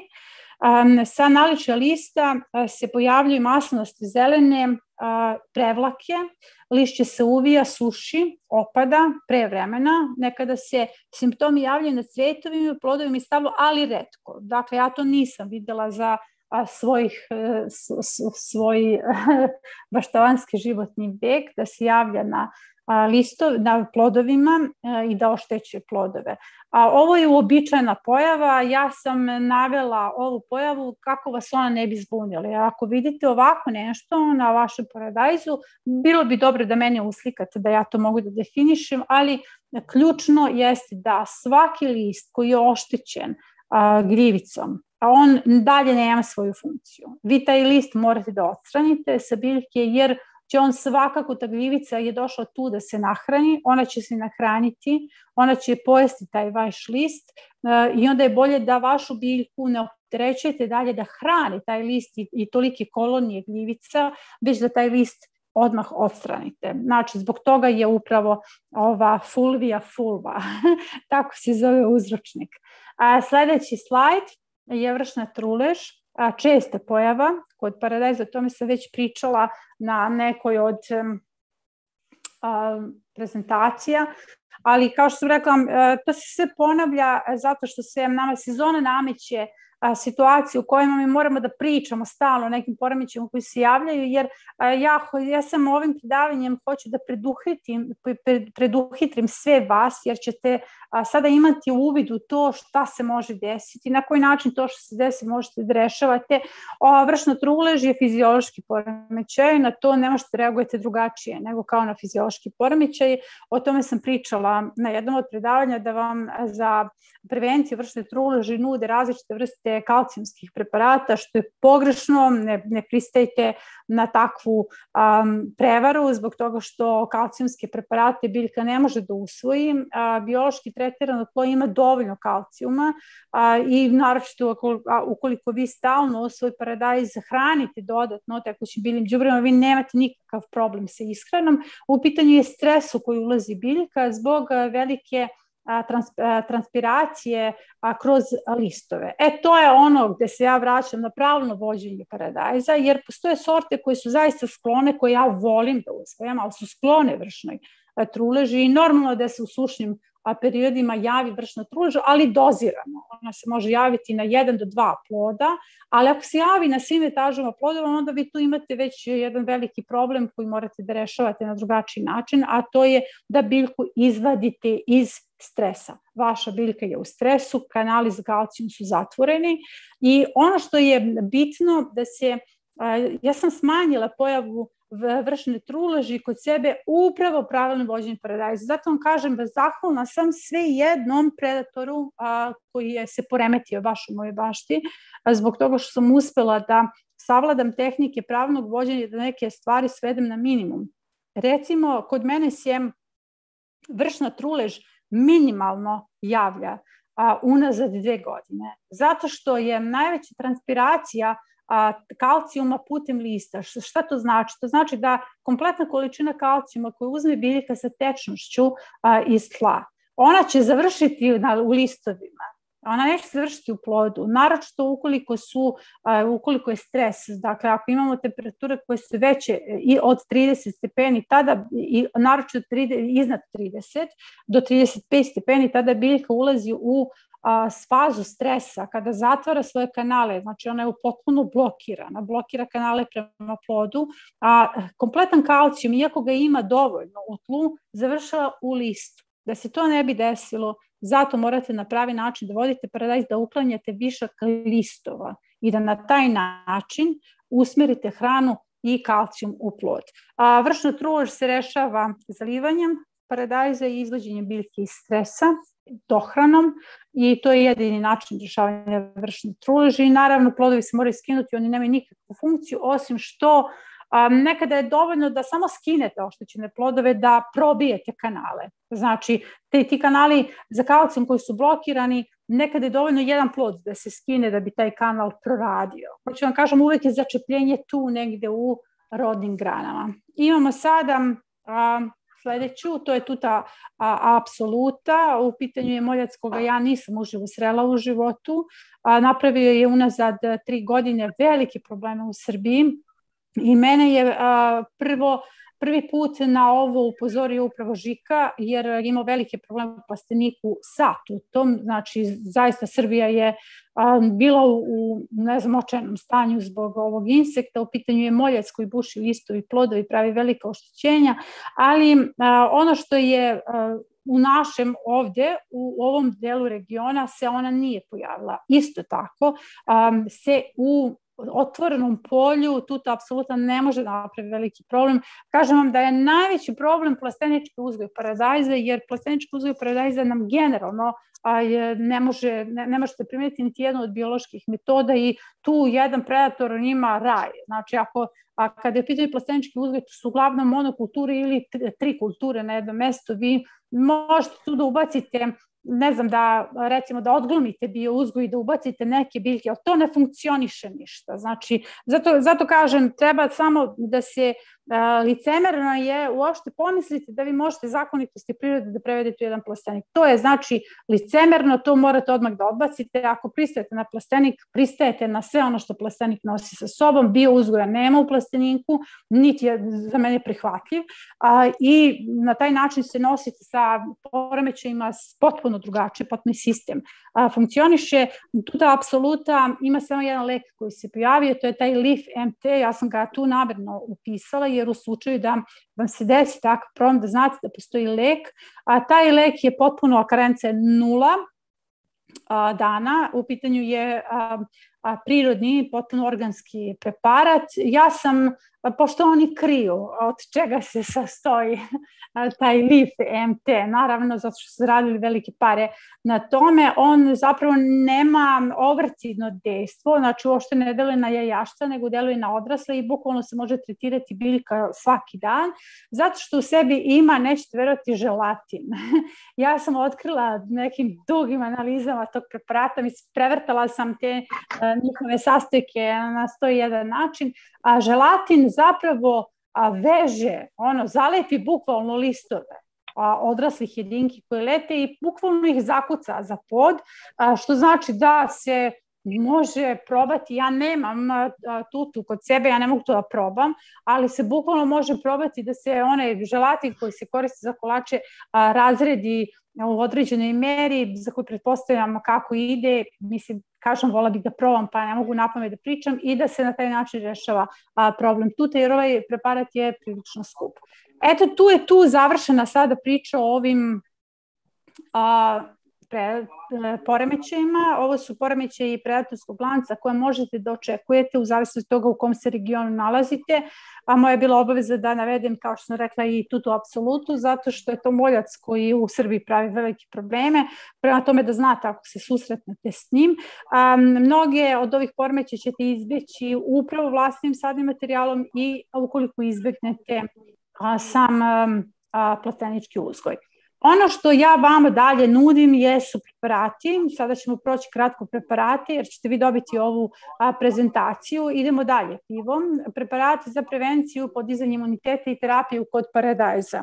Ono što sam ostala dužna na jednoj priči o um, o sobnim biljkama. Ja mislim da je to predavanje, ne znam da li je Marija večera s nama, to predavanje je držala Marija i a, navela se a, priča o tome na koji način treba da se hrane sobne biljke. Ja sam ostala dužna a, tada, zaboravila sam kasnije, setila sam se sad kad sam radila prezentaciju, a, da vam podelim recept na koji način ćete hraniti sobne biljke, da pritom niko od vas i ne pomisli na um, bilo kakve MPK, odnosno na bilo kakve hemijske uh, minerale, a, zbog toga što na taj način kupovinu minerali za sobne biljke vi plaćate a, hemijsku industriju i ja sam vama iznala sada recept za sobne biljke koji se može koristiti za bašninske biljke, ali je meni ključno da nahranite vaše a tu si brava, tu su vaše sobne biljke a, zbog toga što a, ne možete koristiti tekuće biljne đubriva zato što one imaju adek, jedan specifičan miris, jer tako, pa sobne biljke ne mogu da se na taj način tretiraju i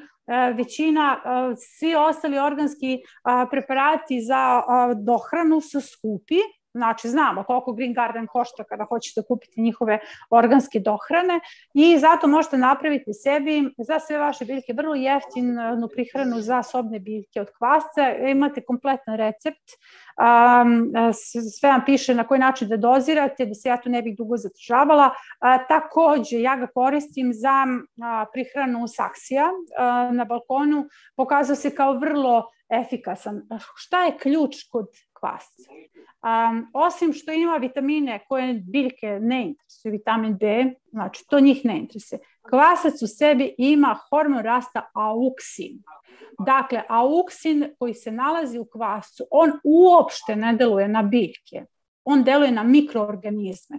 Znači, vi primenom kvasca, a, ovog a, samog prihrane na bazi kvasca, hranite zapravo mikroorganizme i pojačavate njihovu aktivnost u predelu rizosfere i na taj način hranite vašu biljku. E, možete da probate, vas svi koji imaju sobne biljke, za nedelju dana ćete vidjeti kako, kako imate i napredovanje i kako imate kvalitetni list kod vaših biljaka. Dakle, ja sam tada već ostala dužna a, za alternativu kako nahraniti sobne biljke, a da pritom nemate nikakav miris, evo sada ste dobili kvasac. Ključno kod ovog preparata a, jeste a, što, što ne piše ovde, jeste da ne sme da stoji dugo, znači morate da napravite onoliko koliko vam treba, tačno znate koliko vam tečnosti treba, jer ako je u pitanju recimo litra, 10 grama kvasa i jedna kafena kašica šećera, znači tačno možete da dozirate koliko vam treba, a, jer ne sme da stoji. Ukoliko kvasac stoji više od ta 2-3 sata, nakon toga se radi zalivanje, a razvija patogene, mikroorganizme koji mogu da naprave problem biljkama. Znači, ne možete napraviti preparat pa staviti u frižider ili nešto, da stoji ne. Kvasac je živo biće, u pitanju su znači, gljivice koje putem auksina hrane dalje mikroorganizme i mi ovde govorimo o jednoj, jednom simbiozskom odnosu koji na posredan način hrani vašu biljku. Znači, to sam ostala dužna i sad sam, a, može se koristiti sa kvasjem, prihrana sa sve biljke, pa čak probajte i na paradajzu. Zašto se ne biste igrali, recimo? Zašto ne biste odvojili na jednoj gredici paradajz koji hranite samo eto kvasjem? Pa da probate na koji način to funkcioniše, jer ja to radim. Ja da ne eksperimentišem, da se toliko ne igram, da mi nije toliko u životu uh, um, a, potrebna čuda. Znači, meni su stalno potrebna neka istraživanja. Ja ne bih mogla funkcionišem ukoliko, ukoliko bih ja sada imala jedan ritam um, po kome bih to radila. A, ja ne bih mogla uopšte da, da funkcionišem. Dakle, moja priroda podrazumeva stalno istraživanje i zbog toga, evo imate sledeći sprej od listova paradajza, idemo na sledeći uh, slajd. Oh Sada, kada budete skidali, pošto Siniša pitao šta radite s tim listovima paradajza, sada kada budete skidali listove paradajza, zaperke koje skidate, vi njih možete adekvatno da upotrebite u borbi a, protiv a, najzde sada a, stenice. Znači, fantastično jedno sredstvo, zbog toga što a, paradajz u sebi ima i solanin, ali on u sebi ima prirodne repelentne, čak i cidna, cidne, a, on je, a, ima prirodno, prirodni insekticid, koji i kako može da uništi. Postoji studija na kojoj sam uništi insekte, studija koja mi je bila u rukama, koja me fascinirala, koja pokazuje da je paradajz putem svog lista, odnosno luči određene vrste substanci, tačno su navedene koje substance su u pitanju, da ja sad uopšte ne, ne, ne govorim o tome, hemijske njihove strukture, a, koje a, primoravaju insekte na suicid znači koje toliko deluju na insekte um, fatalno da, su, da se oni samo ubijaju tako što se izgladnjuju. Znači, paradajze, nemojte uopšte da mislite da je pitanje neko tamo nežno krhko stvorenje. Znači, u pitanju je biljka koja se uopšte nije jela zato što je toksična, što znači da mi sad taj njen element toksičnosti koristimo kako bi a, mogli da se izborimo protiv insekata i evo imate upravo sada ovaj sprej. Sprej podrazumeva bočicu za sprej, ne morate bočicu za sprej, možete bilo kakvu bočicu prskalicu da stavite i da tretirate listove paradajza paradajzom protiv stenica. Eto, vrlo funkcionalno sredstvo. A, ja nemam naziv stenica, ali imam dovoljno stenica, mogu da, da, da testiram, testiram kako na njih deluje. A, tako da, eto, isprobano sredstvo, um, sad vam je neophodno, a imate i zapad zapreke. Idemo dalje. A, tretman evenom za podizanje imuniteta, a vi ćete ovde da dobijete na u ovoj prezentaciji nekoliko recepata a kojim ćete isključivo da tretirate tlo. Jer kada se desi a, poremećaj kod viroza, kao što sam malo prepričala, a, viroze su vam, a, kod bakterioza vi ne možete ništa, ali kada su u pitanju viroze, vi možete i tekako da delujete a, tako što tretirate ne samo biljku a, ishranom, nego tretirate tlo. A takođe kada je u pitanju imuniteta kod a, plamenjače, a, naj, najviše što meni pomaže jeste upravo tretman tla. Znači imate neven za podizanje imuniteta i imate recept, ja se neću zadržavati pošto već ima puno vremena, znači prvi, a to vam je prvi preparat, gde kada se napravi nakon fermentacije, a, prska se tlo za podizanje imuniteta. Znači, a, mi osim što sarađujemo s biljkom, mi sarađujemo i sa tlom i na taj način se radi tretman na dve etaže. Sledeći jeste preparat od a, dragoljuba. A, preparat dragoljuba se koristi kod a, stenica, Znači, jako je bitno, vrlo, e, dragoljub kao biljka, kompletna biljka a, ima insekticidno dejstvo i ovaj preparat, to su novi preparati koje vi niste dobili u brošurama, jer u brošuri ste dobili ili na jednoj prezentaciji dobili ste neki preparat. Ovo je potpuno novo, ono friško ispod prese. neki su do, pre, neki su vrlo ovaj aktuelni, mislim kako kažem, aktuelni sada za snimanje i ne mogu ih trenutno objaviti ovde zato što će biti izbačeno na YouTube kanalu i nije zaista ni fair da ja sve ono što treba da se snimi izbacim ovde u brošuri, ali bila sam dovoljno dobra da sam izbacila većinu preparata upravo u brošuri da biste mogli odmah da reagujete. Ne znam koliki su vam dragoljubi sada, ali recimo da preparat od dragoljuba se može praviti od sušenog dragoljuba, što znači da mi sve imamo u svom okruženju. Imate preparat, neću, recept neću dugo da se tu zadržavam. Preparat od kadifice, on se takođe koristi za tretiranje tla. Znači imate ovde kompletnu recepturu. A preparat od kadifice se koristi za tretiranje tla a, kada je u pitanju, kada su pitanju ljivični poremeći, bez obzira što kompletna biljka deluje na nematode unutar tla, a, ima i fungicidno dejstvo. Ali je nama ključno da a, kadificu ne smete da koristite na biljku zbog toga što možete spaliti biljku, nego isključivo na tlo. Preparat od presice je svima jasan, znači znate već, neću tu puno da se zadržavam, a, imate nekoliko različitih preparata koje ćete smenjivati. Zašto je to bitno? Jer a, dolazi do a, a, same a, akomodacije svih uslova, odnosno a, va, rezistencija se javlja kod gljivica i vi ne smete koristiti jedan preparat. Ako koristite jedan preparat, vi nećete napraviti nikakav učinak, vi morate da ih menjate. Ovo je novo, preparat od sremuša, potpuno novo. Ja sam vam sad iznala jednu novu inovacija iz e, prese direktno. To je isprobano prošle sezone na lešnicima, zato što je lešnik sklon e, gljivičnim poremećajima i to je najveći problem za uzgoj lešnika jeste upravo što se koristi puno preparata, zato što je kogod uzgaja lešnike zna da je on sklon zaista mogu da mu ovaj, posebno neke vrste istarski i rimski, Samo da, istarski i rimski, znači oni su baš skloni poremećima, imate sorte koje mogu da propadnu, ono, listovi im propadaju. Ja sam imala priliku da na njima vežbam znači preparate i juha od sremuša se pokazala kao jedan dinamit kada su u pitanju a, gljivični poremećaji. A, to znači da vi a, kada se pojavi sremuš, a, ja koristim, ja berem a, sremuš i sušim ga upravo za pripremu a, ovih preparata. Može se koristi i sirovi sremuš, kilogram u odnosu na 150 grama, ali kažem, sremuš završava svoj vegetaciju. Znači, vi morate da pratite vegetaciju. Mama se gljivići poremeći pojavljaju kasnije. Oni se ne pojavljaju, mislim, nemate listova dok ima sremuša. Šta ćete da prskate sirovim sremušom? Razumete, sveži sremuš se javlja onda kada nema uopšte vegetacije, to je prva biljka koja se javlja u proleće i vi nemate priliku da go, da go potrebite u, u sirovom stanju. Zato je bitno da ga sušite i a tada 150 grama sremoša imate recepturu. Sremoš se može držati u suvom stanju 5 godina, ja imam zalihe za tretiranje. Nakon toga, sad ću vam reći što je vrlo zanimljivo, nakon tretiranja sremošom zbog alicina i zbog sumpora koje se nalaze u njemu, apsolutno se nisu ja vratile, vratile gljivice. Eto, znači desilo se, desilo se a takav udar na predatorski lanac da se jednostavno, evo ove sezone nije bilo poremećaja gljivica nakon tretiranja sremošom. Idemo dalje.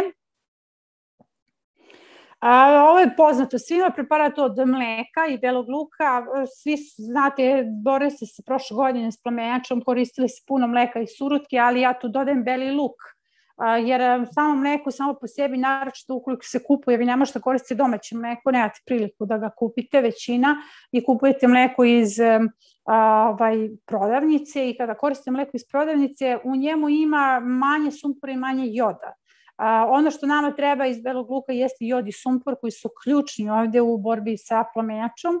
A, beli luk ima u sebi sumpor, ali postoji, evo imate recepturu na koji način ćete pripremiti beli luk, znači ja to pripremim bukvalno a, noć pre nego što napravim preparat i sutradan kada procenim tu vodu radi preparat sa mlekom i vodom. Svi ovi preparati o kojima govorim, a, tretiranje se radi a, ujutru, a, e, kada je sunčano vreme, vi ne smete da radite tretiranje noću zbog toga što a, jer postoje dve opcije, postoje baš to oni koji slučajno noću tretiraju, zato što na taj način radite, pravite vlago oko listova, jednostavno je, kako, kako da vam kažem, um, idete na ruku gljivicama. Znači, svi preparati se tretira, svi preparati se koriste ujutru i kada je u pitanju sunčano vreme. Idemo sledeći preparat juha od vlasca. Taj preparat nećete dobiti. Juha od vlasca je se priprema za epizodu. Vrlo efikasno sredstvo a, za borbu a, plamenjačom. A, kao što sam rekla, ja sam imala prošlu godinu a, i preprošu pred sobom da tretiram, da, da izumim nove preparate, jer presica nije dovoljna. Znači, to se pokazalo se da taj silicijum a, koji u presici nije dovoljan i da nekako na presici biljke postaju, odnosno plamenjača postaje vrlo brzo imuna, imate osjećaj da ono žonglira s njom a, vrlo lako, tako da se ide sa smenom preparata. Vi ako imate nedelju dana plamenjaču, u, ako imate nepogodne klimatske uslove nedelju dana, vi morate da smenjujete preparate. I zato vam treba makar sedam različitih recepata koje ćete smenjivati. Ako koristite jedan isti preparat, vi uzmite u obzir da je rezistencija kod gljivica, to je njihova sposobnost. Oni imaju takvu sposobnost rezistencije da vi njih morate da zbunjujete. I zato je meni cilj da biobaštvanima ima odmah da, da dam a sedam preparata koji će oni napraviti, koji nisu, nije komplikovan napraviti, znači sve se može napraviti za jedan dan pa se drži, držati u frižideru. Juha od vlaste ide epizoda, sledeće jeste preparat od pršuna za jačanje imuniteta, a preparat od pršuna i to će ići na epizodi. Idemo dalje, pivo, šetaj. Znači, to će a, ići snimanje epizode naredne a nedelje, samo ću vam reći da je u pitanju jod, i jer um, ono što je kod borbe sa plomenjačom važno jeste upravo jod. I mnogi baštovani dodaju šta je meni cilj ovim preparatima jeste da izbacim jedan po jedan hemijski element koji baštovani unose. Jer na mnogi stavljaju jod u, u recimo smešu sa mlekom, dve, tri kašike joda, Pritom jod recimo uopšte ne može da napravi neku štetu, koristan je, jača imunitet i utiče na plamenjaču tako što je suzbija nekako brže nego samo mleko, ali jod deluje baktericidno, u pitanju je jako dezinfekcijono sredstvo i utiče loše na um, stanje u tlu i jod nije dopušten, hemijski jod nije dopušten bio uzgoj, o tome sam pričala u jednoj epizode. Idemo dalje, dobit ćete preparat na epizodi. A, preparat od surutke i sode, a razlika između onog što vi znate jeste što je dodajem dve kašike ulja crnog kima, jer ulje crnog kima podiže imunitet i ima vrlo jako antimikotičko dejstvo. Znači, za tu priliku ja imam crni kim svake godine, ovaj, kupujem novu bočicu i koristim za ove preparate, jer kažem, kada se pojavi plamenjač u bašti, vi ne možete da ignorišete. Znači, ignorisanje a, je problem, a, vi morate da delujete, jer ćete u suprotnom izgubiti kompletan urod.